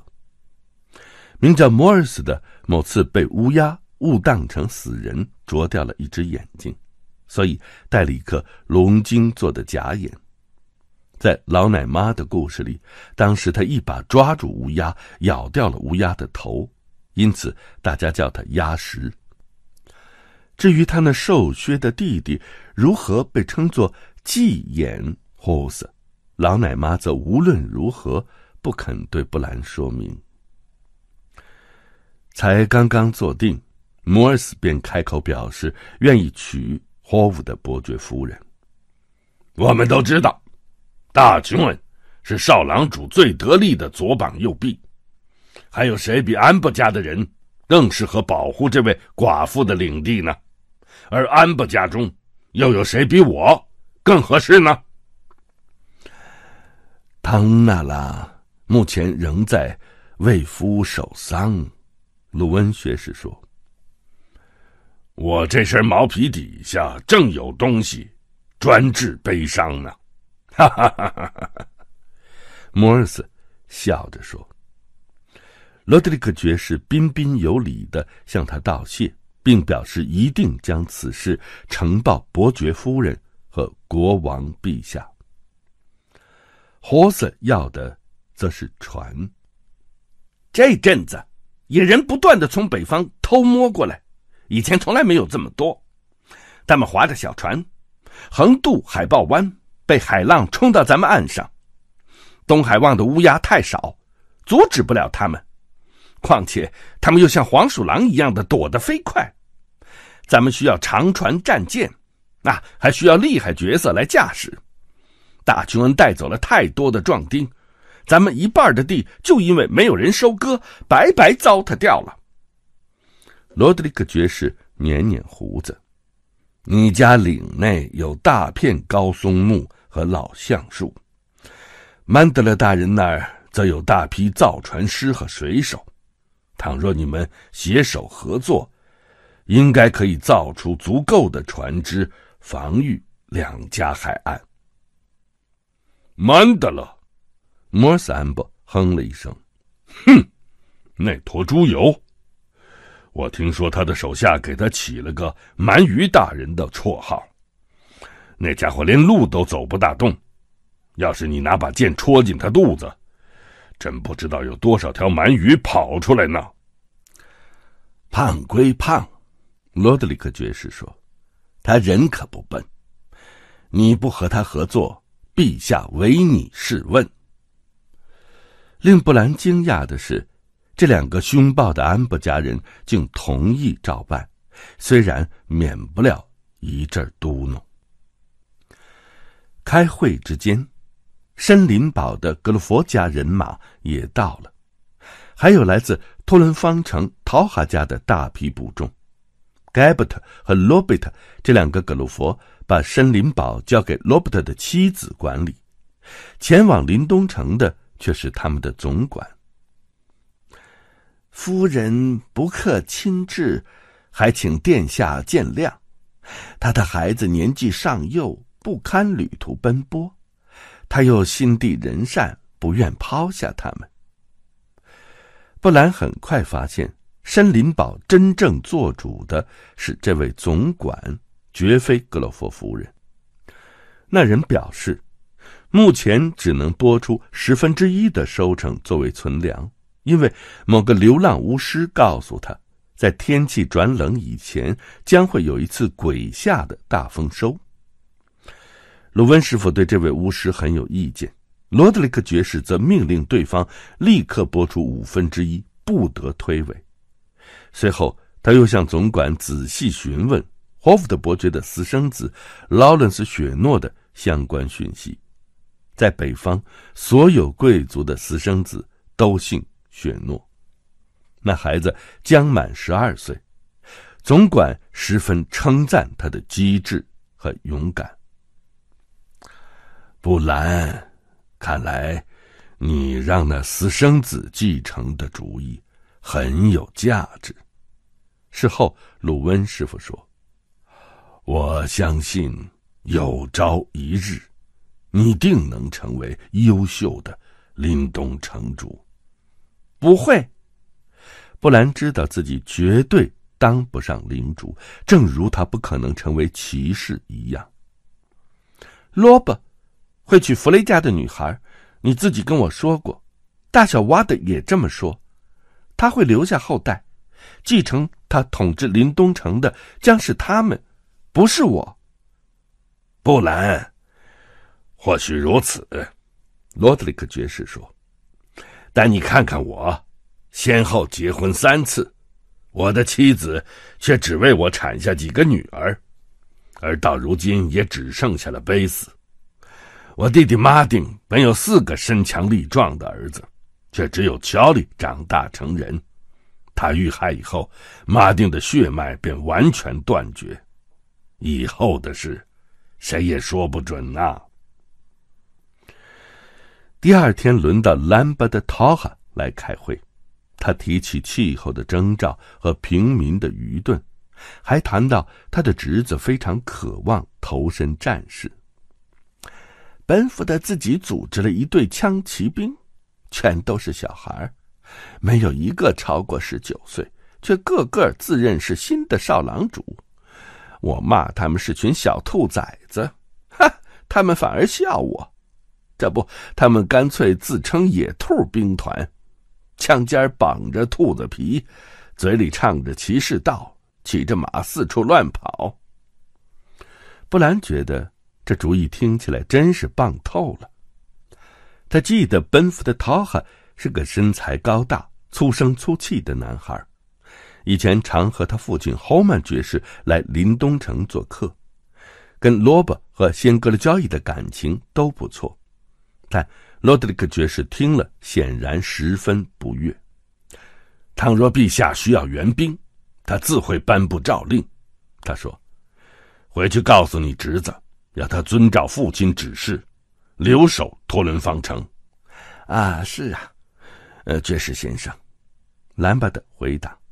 随后，他又提起霍伍德伯爵夫人的事，感叹夫人有多可怜，既无丈夫保卫封土，又无儿子继承家业。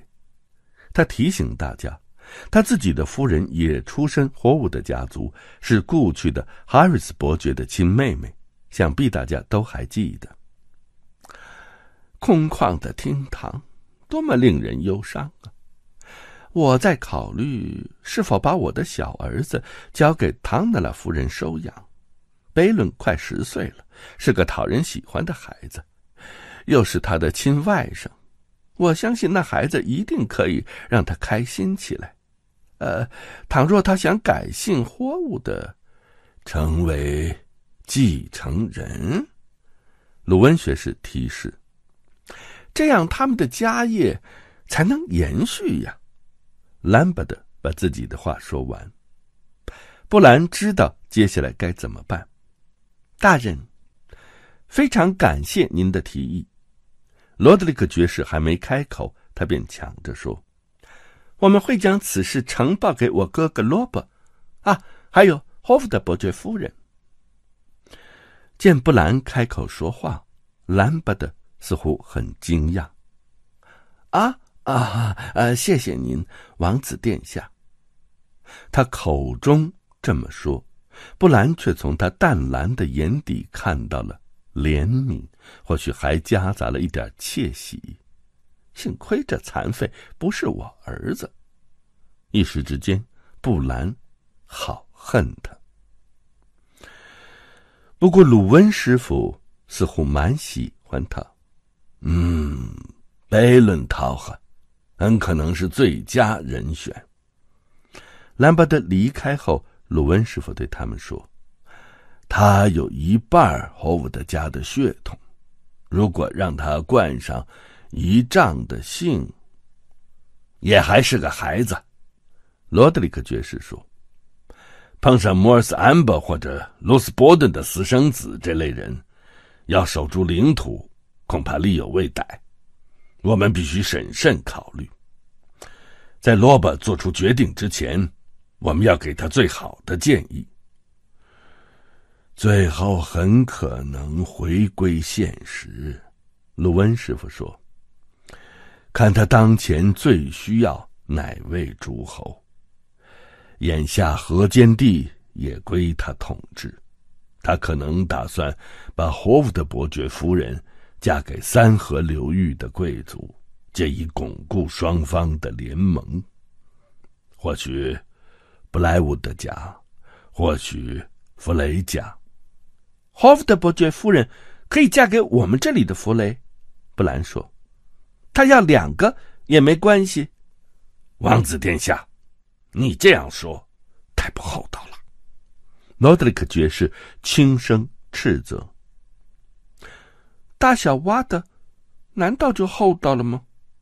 布兰皱起眉头，低头看着桌子，不发一语。之后几天，信押陆续带来其他诸侯不克前来的致歉函。恐怖堡的私生子不愿前来，摩尔蒙家和卡什塔克家则是族中头面人物，均随罗伯南征。罗克大人年事已高，不便长途跋涉。菲林特伯爵夫人身怀六甲，寡妇旺还有疾病肆虐需要处理。最后，史塔克家族的主要封臣都捎来信息，只剩下多年不曾踏出沼泽一步的泽地人霍兰离德，以及居城离林东城仅半日骑程的塞文家。塞文大人被兰尼斯特家俘虏，不过他十四岁的儿子却在一个晴朗徐风的早晨，领着二十四名枪骑兵来到林东城。他们穿过城门时，布兰正骑着小五在场子上打转。布兰策马快跑过去打招呼。克雷对布兰一家兄弟姐妹向来友善。早上好，布兰。克雷开心的唤道：“哦，现在该叫你布兰王子了。”“哎，随便啦。”克雷笑着说，“有何不可？这年头。”人人都想当国王、当王子。斯丹尼斯的信有没有送到林东城啊？斯丹尼斯，我不知道。他现在也是国王。克雷说，他指控瑟西太后和他弟弟乱伦，所以乔弗里是私生子。孽种乔弗里！一名塞文家的骑士咆哮着：“有弑君者这种老爸，难怪他性情乖张。”可不是嘛！另一个人说：“诸神最痛恨的就是乱伦，瞧瞧坦格良家什么下场。”一时之间，布兰只觉得呼吸困难，仿佛有一只巨手在锤击他的胸膛。他觉得自己正在下坠，连忙死命抓紧小五的缰绳。他的恐惧一定形露于色。怎么了，布兰？克雷塞文说：“你不舒服吗？不过就是另一个国王嘛。罗伯会把他也打败。”布兰调转小五的马头，朝马厩走去。塞文家众人都对他投以困惑的眼神，他却浑然不觉。他的耳中轰隆作响，若非被绑在马鞍上，很可能当下落马。当晚，布兰向父亲的诸神祷告，希望一夜无梦。若诸神在天有闻，他们一定以他的请愿为笑料，因为他们送来的梦魇比狼梦更吓人。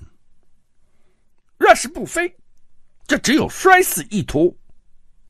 三眼乌鸦一边啄布兰，一边厉声尖叫。布兰哭着苦苦哀求，然而乌鸦全无怜悯之心。他先啄掉了布兰的左眼，然后是右眼。等布兰双眼全瞎，陷入黑暗，他又啄布兰的额头。那恐怖的锐利鸟喙深深钻进头骨，布兰疯狂惨叫，直叫到肺部肿胀欲裂，疼痛又如利斧把他的头颅劈成两半。可当乌鸦抽出沾满碎骨和脑浆的黏糊鸟喙时，布兰却又看得见了。眼前的景象使他恐惧的屏住了呼吸。他正攀在一座好几里高的塔楼边缘，手指逐渐划开，指甲扒着石砖，瘫软无用的蠢笨双脚正把他往下拖。救命！他大叫。一名金发男子出现在上方的天空中，把他拉了上去。好好想一想，我为爱情做了些什么？那男子轻声低语，随后把拼命踢腿挣扎的布兰抛入空中。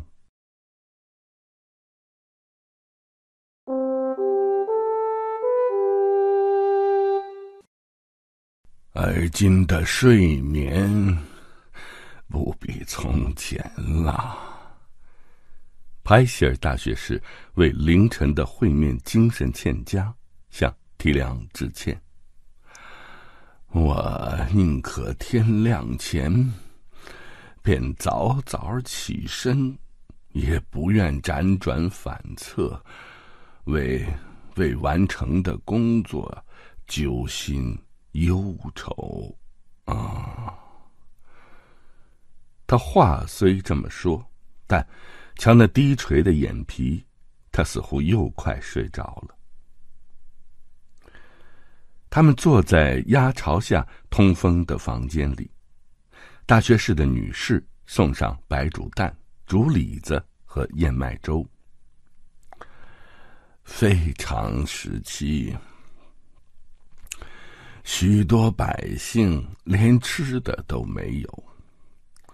我想自己也该一切从简，令人钦佩。提里昂承认。并敲开一颗棕色的大蛋，心里觉得这颗蛋还真像大学士那布满斑点的秃头。但我的看法不同。我是能吃的时候尽量吃，以免明天吃不到。他露出笑容。说来，您的信鸭也这么早起吗？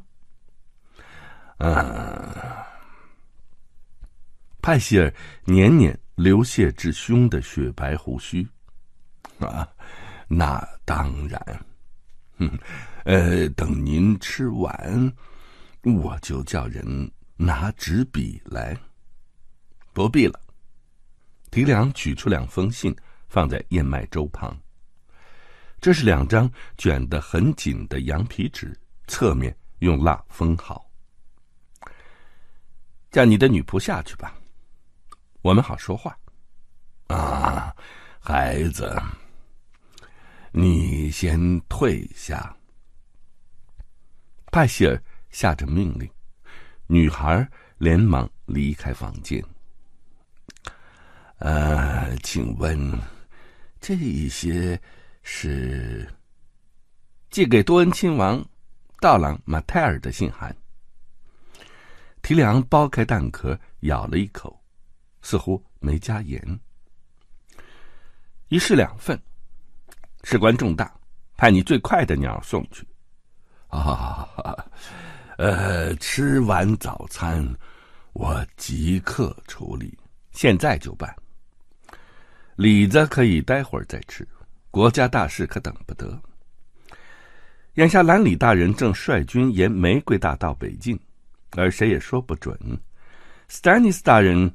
何时会自龙石岛起航？啊，哈哈，呃，派希尔眨了眨眼睛。如果大人您坚持，我很坚持。啊，我随时任您差遣。学士蹒跚起身，颈链轻声作响，他的颈链。粗大沉重，重量那是普通学士项链的十数倍，互相串接，像一宝石。在提里昂看来，其中黄金、白银和铂金的链条数目远远超过其他不值钱的金属。派希尔动作很慢，提里昂吃完煮蛋，又尝过李子。那李子煮的熟烂多汁，正合他胃口。这才听见扑翅之音，他站起来，看见清晨天际乌鸦墨黑的身影，便骤然转身，朝房间远端迷宫般的置物架走去。学士的药品为数惊人，几十个蜡封的罐子，百余瓶塞住的小瓶。同样数量的白玻璃瓶，不计其数的干药草罐每个容器上都有拍希尔用工整的字迹写成的精确标签哼，此人真是井井有条啊！提梁心想。的确，一旦你理解了分类依据，便会发现每种药品都摆放的恰到好处，都是些。有趣的东西。甜睡花和龙葵、罂粟花奶、李子之类、灰熏粉、附子草和鬼舞草、石溪毒、虾眼毒、寡妇之血。他踮起脚尖儿，使尽全身力气向上伸展，好不容易够到一个放在高处、积满灰尘的小罐子。他看看上面的标签，笑着将之藏进衣袖。当派希尔大学士慢吞吞的走下楼梯时，他已坐回桌边，吃起另一颗蛋来。大人。办妥了，嗯。老人坐下来。这种事啊，嗯，是啊，是啊，办的越快越好。您说，呃呃，事关重大啊，没错。提里昂嫌燕麦粥太稠，且缺了奶油和蜂蜜。这阵子，君临城中已很难吃到奶油和蜂蜜。但拜盖尔茨伯爵之赐，城堡里的供应倒不缺。最近城堡中的粮食，有一半是从他和坦达伯爵夫人的领地运来。罗斯比城和史多克沃斯堡位于王城以北，尚未遭战火波及。呃，寄给多恩亲王本人 啊，我，呃呃，我可否问问？你最好别问。啊，如你所愿。提梁能感受到拍希尔强烈的好奇。呃呃，或许，呃，该让御前会议。提梁拿起木匙，轻敲碗沿儿。好师傅，御前会议的职能是辅佐陛下。啊，是啊，派希尔说。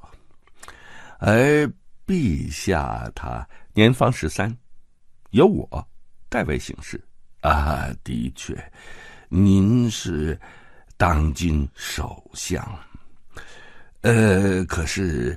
呃，您亲爱的姐姐，呃，我们的摄政太后，呃，她，她漂亮白皙的肩膀上背负了太多重责大任，我可不能无端加重她的负担。你说对吧？提里昂歪歪头，审视着大学士。派希尔急忙垂下视线，看着自己的早餐。有的人。看了他那对大小不一、一绿一黑的眼睛，便会很不舒服。提里昂很清楚这一点，因此善加利用。啊啊！老人对着自己的里子喃喃地说：“ 大人，您说的一点儿没错。呃，为他省去这些。”呃呃，负担啊，您真是太体贴了。我这个人别的优点没有，就是体贴。提梁继续吃起不甚可口的燕麦粥。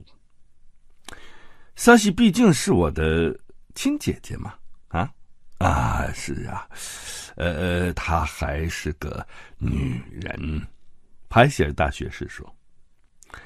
呃，虽然并非平凡女子，但女人终究内心脆弱啊！想一肩挑起国家大事，哎呀，也真是不容易呀！得了，他是脆弱的白鸽，哼，去问问埃德施塔克吧。呃，知道您和我一样的关心他，我实在倍感欣慰，啊，谢谢您的盛情款待。不过我今天还有事要忙。他扭扭腿儿，爬下椅子。等我们收到多恩方面的回信，劳烦您立刻通知我呀。啊，照您吩咐，大人。只通知我一个人，啊？啊啊，呃，一定，一定。拍谢用布满老人般的手抓着胡子，就像溺水之人伸手够绳子一样。提里昂看了，满心欢喜。这是第一个，他想。他跛着脚走进下层庭院，畸形的双腿因为走楼梯而酸痛。此刻太阳已高挂天际，城堡里也活络了起来。卫士们在城墙上巡逻，骑士和他们的随从则以钝器练习战技。波隆就在广场附近，坐在一口井边，两个漂亮女士合力提着一个装满毯子的柳条筐，轻步走过，佣兵却目不斜视。波隆，你真是没救了！提梁指指两个女孩。大好春光就在眼前，那你却光顾着看一群呆头鹅打架。城里有一百间便宜妓院，画上几个铜板，我爱怎么干就怎么干。波隆回答。可哪天从这群呆头鹅身上学到的东西，却可能救我一命。他站起来。那个穿蓝格子外衣。盾牌上有三只眼睛的小鬼是谁呀？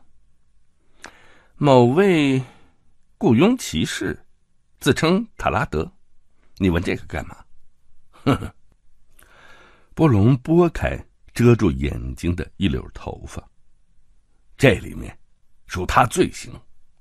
可你仔细瞧瞧，他的行动有一定的节奏，每次攻击都依照相同的顺序，使用相同的招式。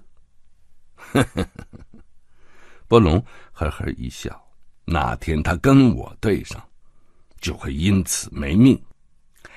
他已经宣誓效忠乔弗里，应该不会跟你对上。他们一同穿过庭院，波隆放慢脚步，以配合提梁的短腿。最近这位佣兵看起来已经有些人样了，黑发梳洗的很整齐。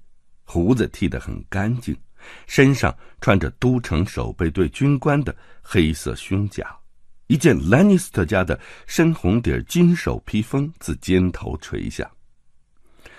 提里昂任命他为自己侍卫队长的那天，送给他这件披风做礼物。今天有多少人请愿呢？他问。三十多个，波隆回答。跟以前一样，不是来抱怨，就是有事相求。啊，对了，你的宠物回来了。哦，提梁呻吟一声。谭德伯爵夫人来过，他的随从来过，他再度邀请你去共进晚餐，说是备下一大块鹿腿肉，两只淋了桑葚酱的甜鹅，还有。他女儿，提梁厌恶的说完。自他抵达红堡的那一刻起，谭德伯爵夫人便穷追不舍，轮番祭出鳗鱼派、野猪肉和美味的奶油浓汤当武器。他的女儿罗丽斯不但生得肥胖、柔弱而愚蠢，而且谣传三十三岁了还是个处女。可他不知怎的，却认定侏儒少爷和自己的女儿是天生绝配。回复他，我很抱歉，无法赴宴。对田鹅没兴趣。波隆一脸邪恶的笑着说：“干脆你去吃鹅，啊，顺便把少女娶回家得了。呃，或者换个人，叫夏嘎去。”如果是下嘎，八成会吃了少女，把鹅娶回家。波隆评估着，哈，呃，不过罗丽斯比他还重。这倒没错，提梁承认。他们走进两座塔楼间密闭通道的阴影下。还有谁呀？呃，佣兵略为正色道：“有个布拉佛斯来的钱庄老板，手上拿了些有模有样的借据，说要跟国王见面，谈谈归还欠款的事。哼，可怜虫！小强能不能数过二十都成问题。叫他去找小指头，小指头会想办法打发掉。还有呢？”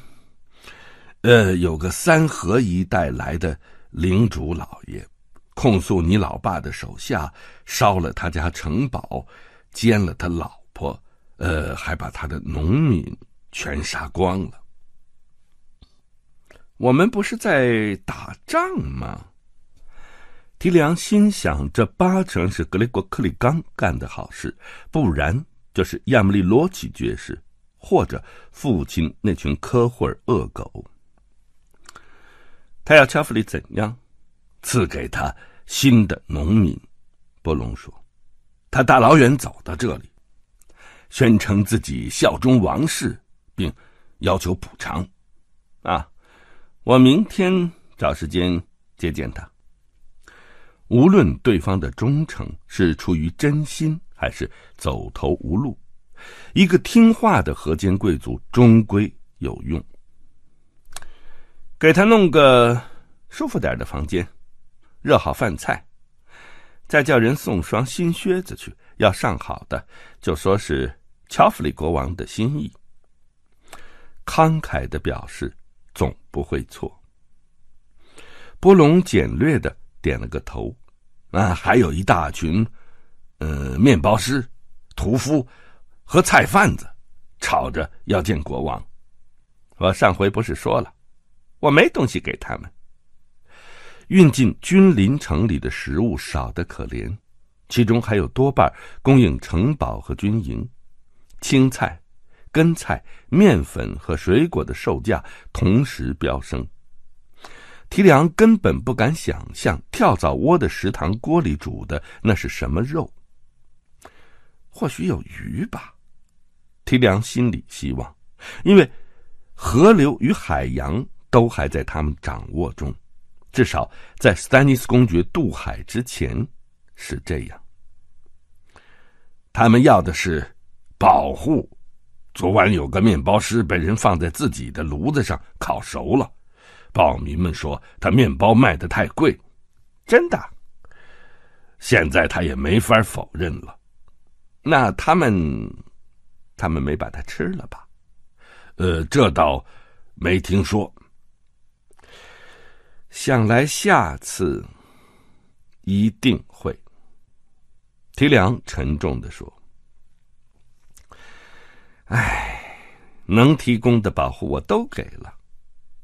金袍军，他们声称有金袍军混在暴民里。”波隆说：“因此要求觐见陛下本人。”一群蠢蛋。提梁上次连声致歉。好说歹说，把那些人送走了。换做他外甥动用的，可就是鞭子和长枪了。提梁真有点想撒手不管了，但不行，他不敢这么做。敌人兵临城下是早晚的事，此刻他最不能容许的就是被城里的叛徒出卖。告诉他们，恰弗里国王陛下。也已体察他们的恐慌，将尽一切努力为他们改善环境。他们要的是面包，不是承诺。我要是今天给他们面包，明天来请求的人就会多上一倍。嗯，还有谁呀？有个长城来的黑衣弟兄，总管说他带了个罐子，里面有只烂掉的手。哎呀！呵 呵呵提梁有气无力的微笑着，真令人惊讶，怎么没人把那手给吃了？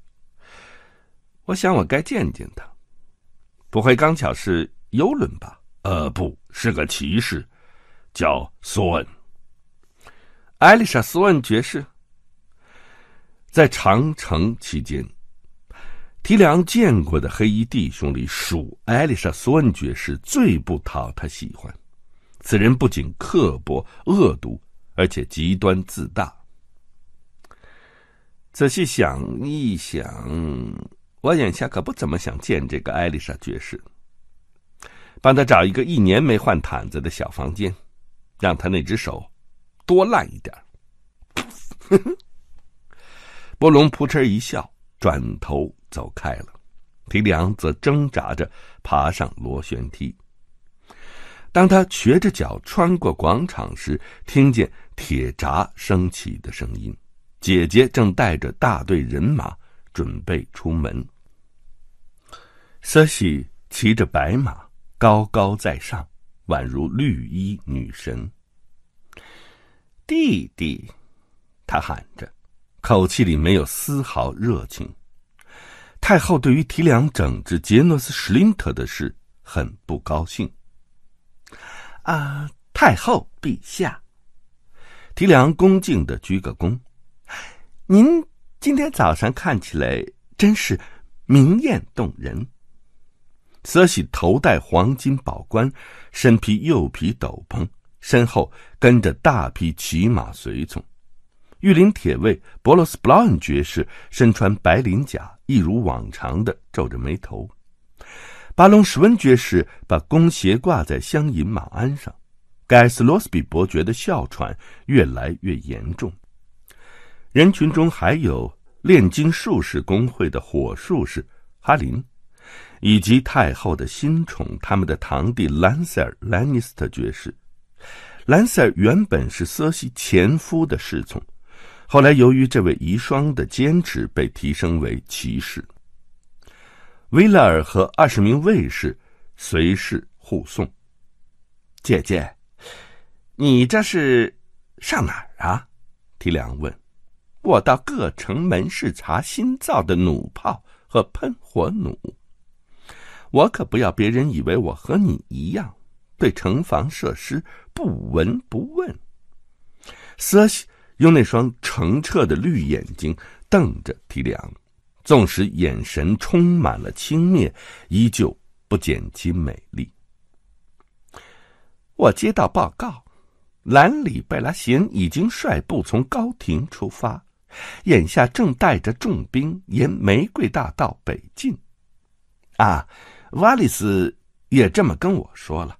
等下次月圆，他可能就到了。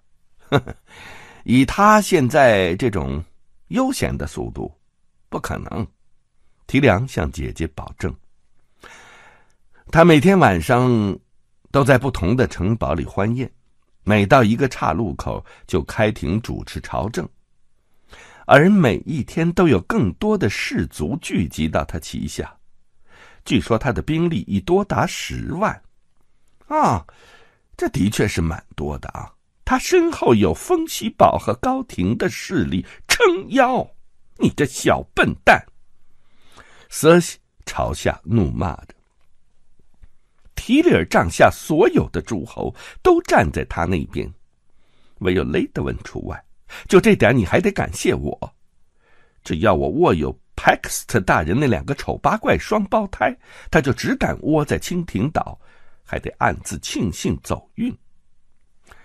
只可惜呀，你让百花骑士从你的纤纤玉指间溜走了。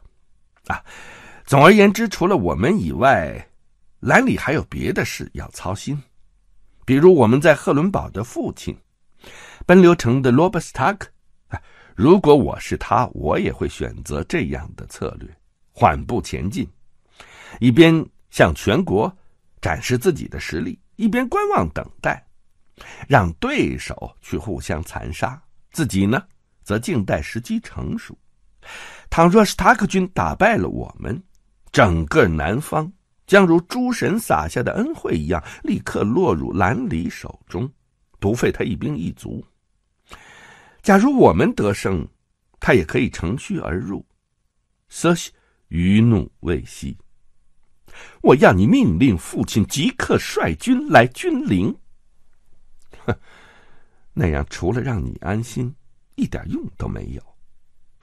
我何时能命令父亲做这做那了，姐姐？瑟西不理这个问题。还有，你打算什么时候救詹姆出来？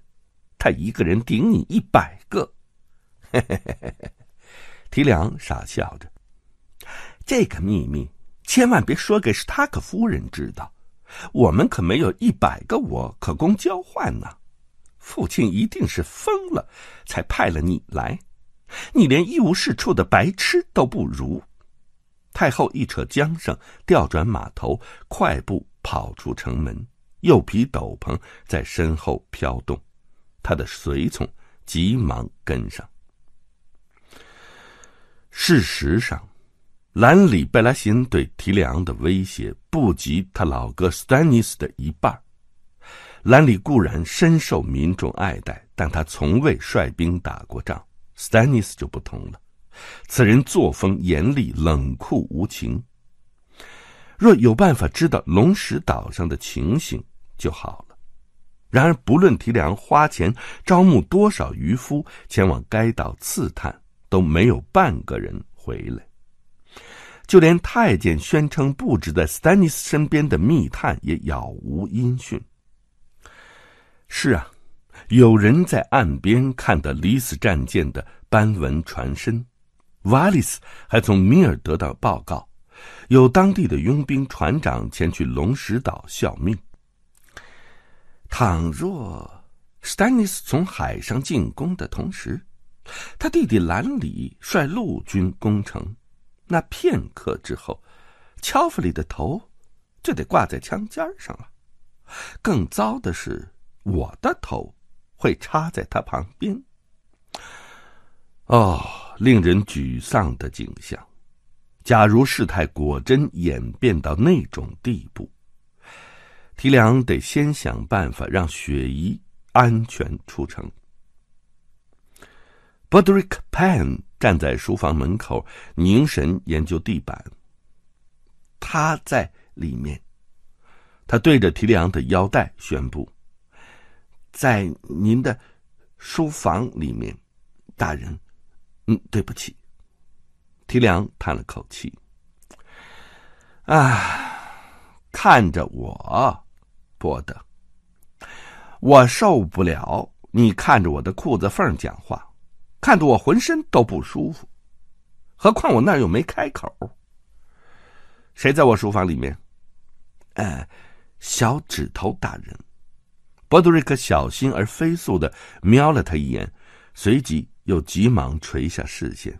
啊，我是说，贝提尔大人，贝利西大人，嗯，财政大臣，你把他说的好像是一群人。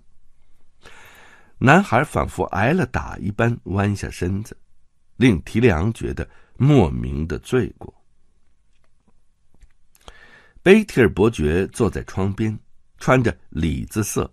长绒毛外衣和黄缎披风，戴着手套，一只手搁在膝盖上，模样优雅而慵懒。国王正在拿着十字弓和兔子作战，他说：“过来瞧瞧吧。”目前，兔子占上风。提梁得踮起脚尖才能看清楚。外面广场上躺了只死兔子，另有一只身上插了根弩箭，长耳朵不断抽搐，差不多就要断气了。无数的箭枝七零八落的斜插在硬泥地上，活像被暴风吹乱的稻草。放！乔弗里大喊，猎狮便放开原本握住的兔子，兔子拔腿就跑。乔弗里用力扣下十字弓扳机，结果足足瞄差了两尺。兔子后脚站立，朝国王掀掀鼻子。小乔一边咒骂，一边扭紧弓弦，但他还来不及重新上箭，兔子已经跑得不见踪影。再来一只！猎师把手伸进兔笼，抓出一只棕色的。这一次，乔弗里急于放箭，差点射中了普雷斯顿爵士的胯下。小指头转过身来：“小子，喜欢不喜欢罐烟兔肉啊？”他问波德瑞克·派。波的盯着访客的靴子，那是一双染色的漂亮红皮靴，上面有黑色窝形装饰。大人，嗯，是吃的吗？嗯，劝你把钱投资在陶罐上。小指头建议。城堡很快就会被兔子淹没，到时候我们一日三餐都得吃兔子肉，总比吃老鼠肉好吧？提里昂说：“啊，波德，你退下吧。啊，对了，呃，贝蒂尔大人要不要先喝点什么呢？呃，谢谢，还是不用了。”小指头露出招牌式的挖苦笑容。人家说。醉来饮侏儒，醒时守长城。哼，我本来就气色不佳，穿上黑衣那就太明显了。你不用害怕，大人。提梁心想：我为你准备的可不是长城。他在一张堆满靠垫的高椅子上坐了下来。哼，大人。您今天看起来可真雅致，哦！听你这么说，我好难过呀。我可是努力让自己每天看起来都很雅致啊。这是套新衣服，呃，是啊，您眼光真不错。李子色和黄色，是您家徽的颜色，不是？但每天都得穿颜色雷同的东西，总会烦的。得不时的换一换，您说对吧？您那把刀子也漂亮极了，是吗？小指头眼睛里闪过一抹促狭，他抽出匕首，若无其事的看了一眼，仿佛是这辈子头一遭见到。瓦雷利亚刚造的龙骨刀柄，可惜就是式样普通。您感兴趣的话，就送给您吧。送给我？提梁意味深长的看了小指头一阵。呃，不，嗯，我觉得不妥，还是别给我的好。他知道，这傲慢的混蛋，他不但知道，也清楚我知道，还认为我动不了他。在这个世界上，假如说真有谁用黄金来武装自己，非贝提尔·贝利西莫属，而不是詹姆·兰尼斯特。詹姆那套闻名天下的铠甲不过是镀金的钢板，可小指头，哦，提里昂对亲爱的贝蒂尔所知越多，就越觉得不安。十年前，贝蒂尔伯爵被琼恩·艾琳安插去某个海关小职位吃闲饭，结果他反以三倍于其他税吏的收入脱颖而出。由于拉布国王花钱很厉害，所以像贝提尔·贝利西这种可以把两枚金龙币磨一磨生出第三个来的人，自然成为不可多得的人才。于是，小指头一路扶摇直上。入宫不过三年，便已成为财政大臣，列席御前会议。比起焦头烂额的前任大臣时代，如今王室岁入是过去的整整十倍，王室负债也相应的大幅增加。贝蒂尔·贝利西是变戏法的高手，哦，他的确聪明。他不是简单的收取税金，然后将之深锁国库。他的办法多着呢。他用种种国王的承诺来抵支债款，再将国库里的资金拿去运用。他购置货车、店铺、船只和房舍，在作物丰收时低价买入谷物，在粮食短缺时高价卖出面包。他从北方买进羊毛。自南方购入麻布，从里斯进口蕾丝，或储存起来，或四处流通，染色之后继而卖出。金龙币仿佛自行繁衍般，不断膨胀增加。小指头放款出去，连本带利收回来。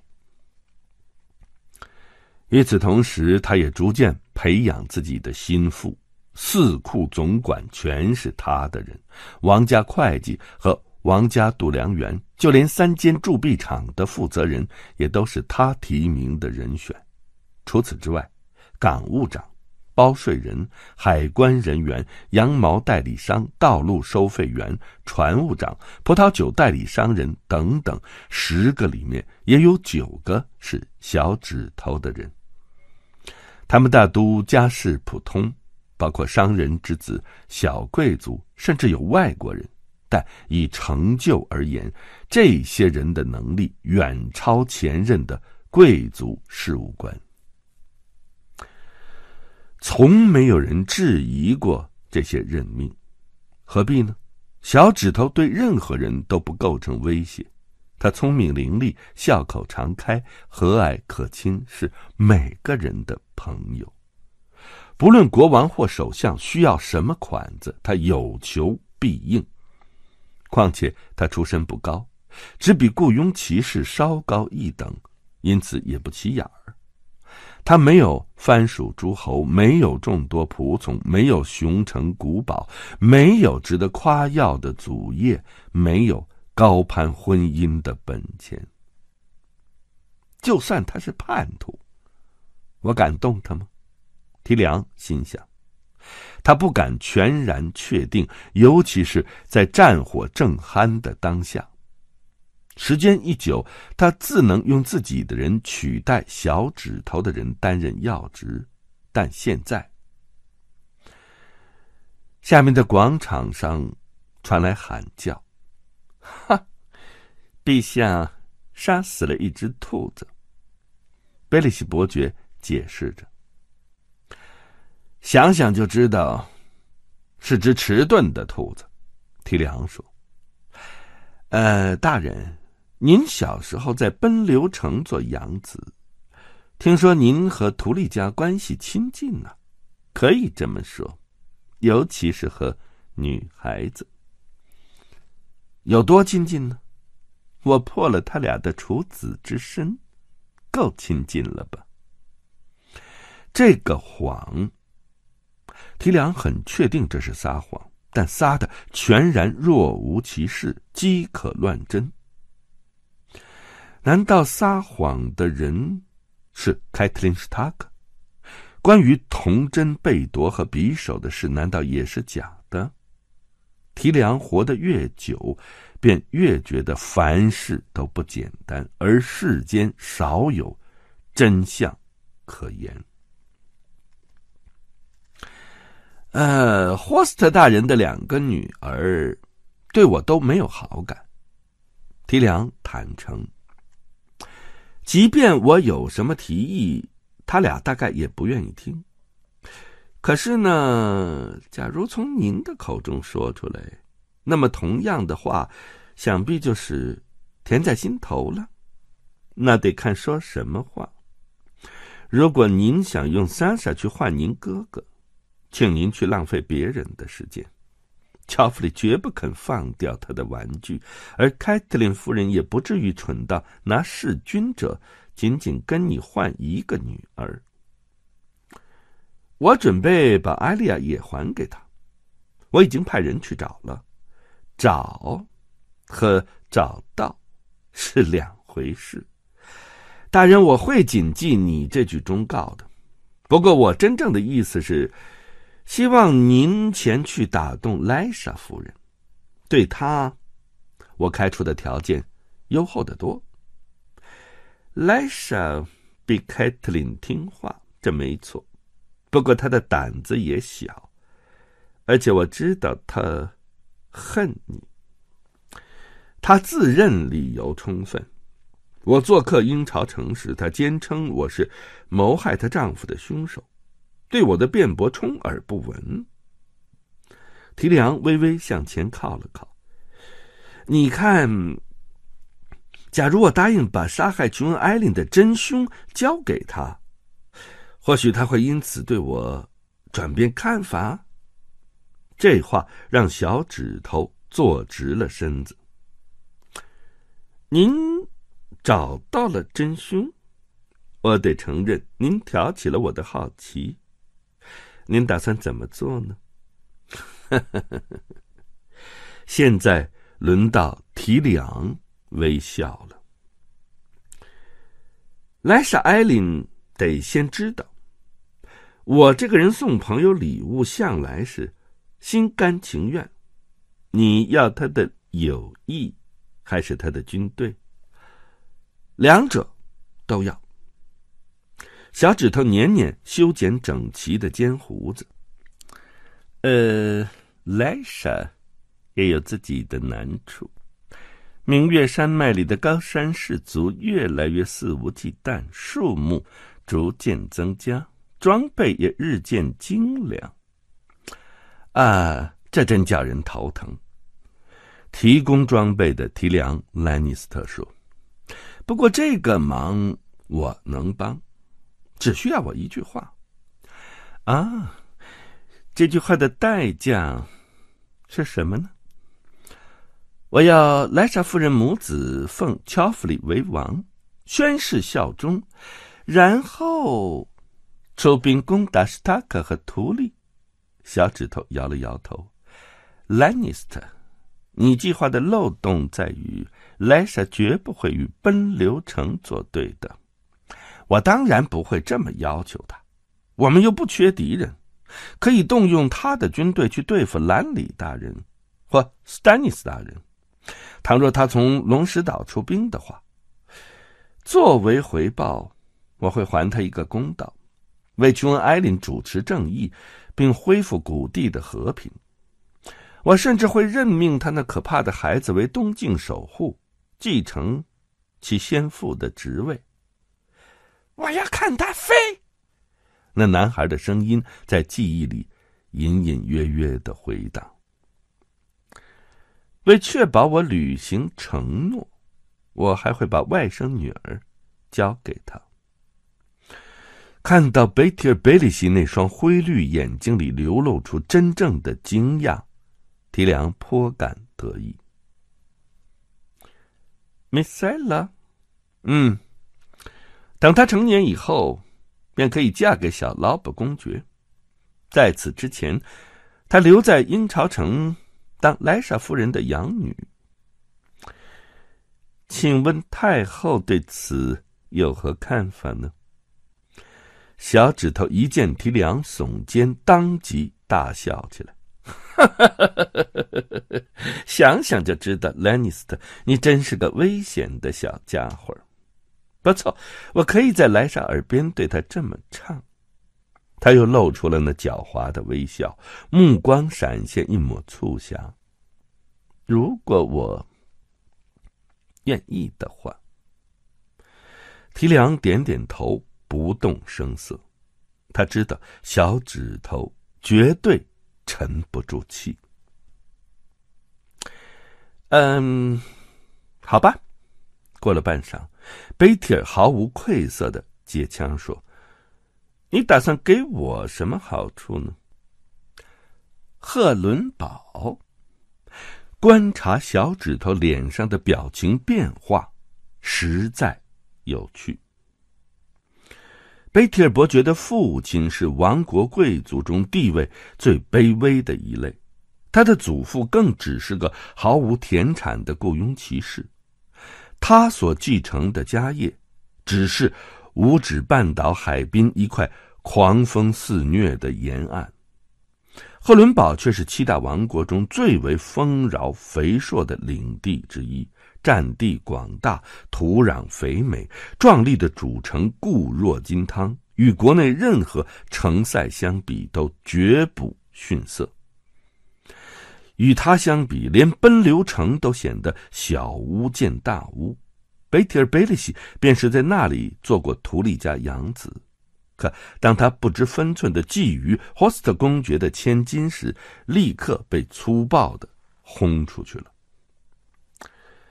小指头花了点时间整理披风，但是提梁可以看见那双狡黠猫眼里闪过的饥渴。对方上钩了，他心里清楚。呃，赫伦堡是个不祥之地。片刻之后，贝蒂尔伯爵装出无趣的样子，这样说：“那就把它夷为平地，依您的意思重新修建。啊，不用担心经费，我打算让您总领三河流域。”这些河间贵族已经证明了他们有多么反复无常，你就让他们对您宣誓效忠吧。就连图利家也一样。假如我们胜利之后，图利家还存在的话，小指头的表情像极了刚刚偷咬了一大口蜂窝的男孩。哼，他很想提防蜜蜂，但蜂蜜。却太过甜美。赫伦堡及其所有领地税赋，他寻思着，如此一来，你就让我跻身于王国最显赫的贵族之林。大人，并非我不懂得知恩图报，可您为什么要这样做呢？呃，先前。在国王继位的危机之中，您辅佐太后，匡扶王上，立下了汗马功劳啊。杰诺斯·施林特不也一样吗？况且他也新近得到了这个赫伦堡，可一旦他没有了利用价值，城便又被收了回去。哈哈哈哈哈哈！提梁笑着：“您可真尖刻，大人。您要我怎么说呢？”我需要您去说服莱莎夫人，但我不需要杰诺斯·施林特来掌管我的军队。提梁耸耸肩，哈，我宁可让您接手赫伦堡，也不愿意见到兰里坐上铁王座。这不是再明显不过了吗？此话有理。您知道，为了让莱莎·艾琳同意这桩婚事，我很可能得再跟她上床。哈，我相信您一定能胜任愉快。我曾对埃德斯塔克说：“如果你发现跟自己上床的原来是个丑女，最好的做法就是闭上眼睛，赶紧办事儿。”小指头十指交叠，看着提梁那双大小不一的眼睛。给我两周时间，了结完手边的事务。然后安排船只送我去海鸥镇，没问题。客人站起身。兰尼斯特，看来今天早上不仅令人愉快，而且获益良多。相信对你我而言都是如此。他一鞠躬，大跨步的走了出去。黄披风在身后飘动。提梁心想。这是第二个。他上楼回卧室，等待瓦里斯的到来。他相信对方迟早会出现，八成是傍晚，或许更晚，到月亮出来以后。他打算今晚去会雪姨，因而不希望等得太久。因此，在不到一个小时之后，当石压部的盖特通知他脸上扑粉的家伙来访时，他颇觉惊喜。您害大学士局促成那样，真是没心肝儿啊！太监故作斥责，提醒您了，此人无法保守秘密。怎么，乌鸦还嫌八哥黑呀？难道你就不想听听我给大朗马泰尔的信里写了些什么？瓦里斯咯咯笑着，说不定我的小小鸟已经告诉我了呀。啊，是吗？提里昂想听的就是这个。那你倒说说看。迄今为止，多恩尚未卷入战事。道长马泰尔虽已召集诸侯，但仅止于此。可是，他对兰尼斯特家族的仇恨尽人皆知。世人多半会以为他要投靠兰里大人，您劝他打消这念头。这很明显，提梁说。唯一费人思量的是，您究竟拿什么去换取他的盟约？亲王是个重感情的人，至今都在为妹妹伊利亚和他的小宝贝儿哀悼呢。家父曾告诉我，为政之人绝不能让私人感情影响政治之道。哼。眼下杰诺斯大人穿了黑衣，这会儿朝中就有个这样的重臣席位空着呢。重臣席位的确不容小觑，瓦里斯承认。可要让一个心高气傲之人忘记妹妹惨死的悲剧，光这样足够吗？何必忘记呢？呵呵。提梁微微一笑：“我已许下承诺，交出杀害他妹妹的凶手，要死要活，随他高兴。当然了，得等战争结束以后再说。”瓦里斯精明的看了他一眼：“我的小小鸟儿告诉我，当有人找到垂死的伊利亚公主时，他口中哭喊着。”某个人的名字，大家都知道的秘密，那还叫秘密吗？但，在凯岩城中，众人皆知杀死伊利亚公主母子的是格雷格克里冈。人们盛传他先杀了襁褓中的王子，手上沾满了孩子的鲜血和脑浆，然后奸污了公主。您。口中的这个秘密，可是令尊的部下呀。家父会头一个告诉你，拿一只疯狗去换五万多恩士兵，相当划算。哦，瓦里斯摸了摸扑粉的脸颊。可是，万一道朗亲王不只要求凶手伏法？连背后主使者也要偿命，怎么办呢？哼，叛军领袖是劳勃·拜拉辛，归根结底，所有命令都是从他而起啊。但劳勃当时并不在军营，到了·马泰尔不也一样吗？所以了，用血债血偿来安抚他的自尊。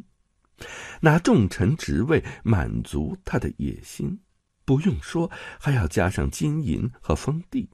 嗯，这提议的确诱人。然而，再怎么诱人的甜点，都是可以下毒的。如果我是亲王，在伸手拿这块蜂蜜之前，还会有个要求。那，就是用来表示诚意的信物，确保不遭背叛的信物。瓦里斯露出狡黠无比的微笑。我很好奇，您到底把哪位送给了他？唉，提梁叹了口气：“你早知道了，对吧？”唉。既然您都这么说了，哦，是托曼吧？毕竟您不可能把米塞拉同时送给刀郎马泰尔和莱莎艾琳两个人呢。以后记得提醒我，别跟你玩这种猜谜游戏。哼，你会作弊。托曼王子是个好孩子。如果我趁他年少时将他自瑟西和乔弗里的魔掌中带开，或许他长大以后还会是个好人，也是个好国王。乔弗里才是国王。倘若陛下有什么不测，托曼便将继承王位。托曼这孩子天生可爱，又是出了名的听话呀，瓦里斯。你的想象力也未免太丰富了吧，大人。我就把您这话当恭维吧。嗯，总而言之，既然您对他如此礼遇，道朗亲王断无拒绝之理。哦，我不得不说，您办的实在高明。除了一个小小的漏洞，哈哈哈哈哈哈！侏儒大笑起来。这个漏洞叫瑟西，国家大事，哪里比得上母子亲情呢？哦，或许看在家族荣耀和王国和平的份上，太后会勉强同意把托曼与米塞拉其中之一送走，但两个都要，哦，绝无可能。只要别让瑟西知道，他就。无从妨碍，万一计划在成熟之前就被陛下他发现了呢？这个嘛，提梁说：“我自然会把告密者当成死对头了。”看着瓦里斯咯咯傻笑，提梁心里清楚，第三个也成了。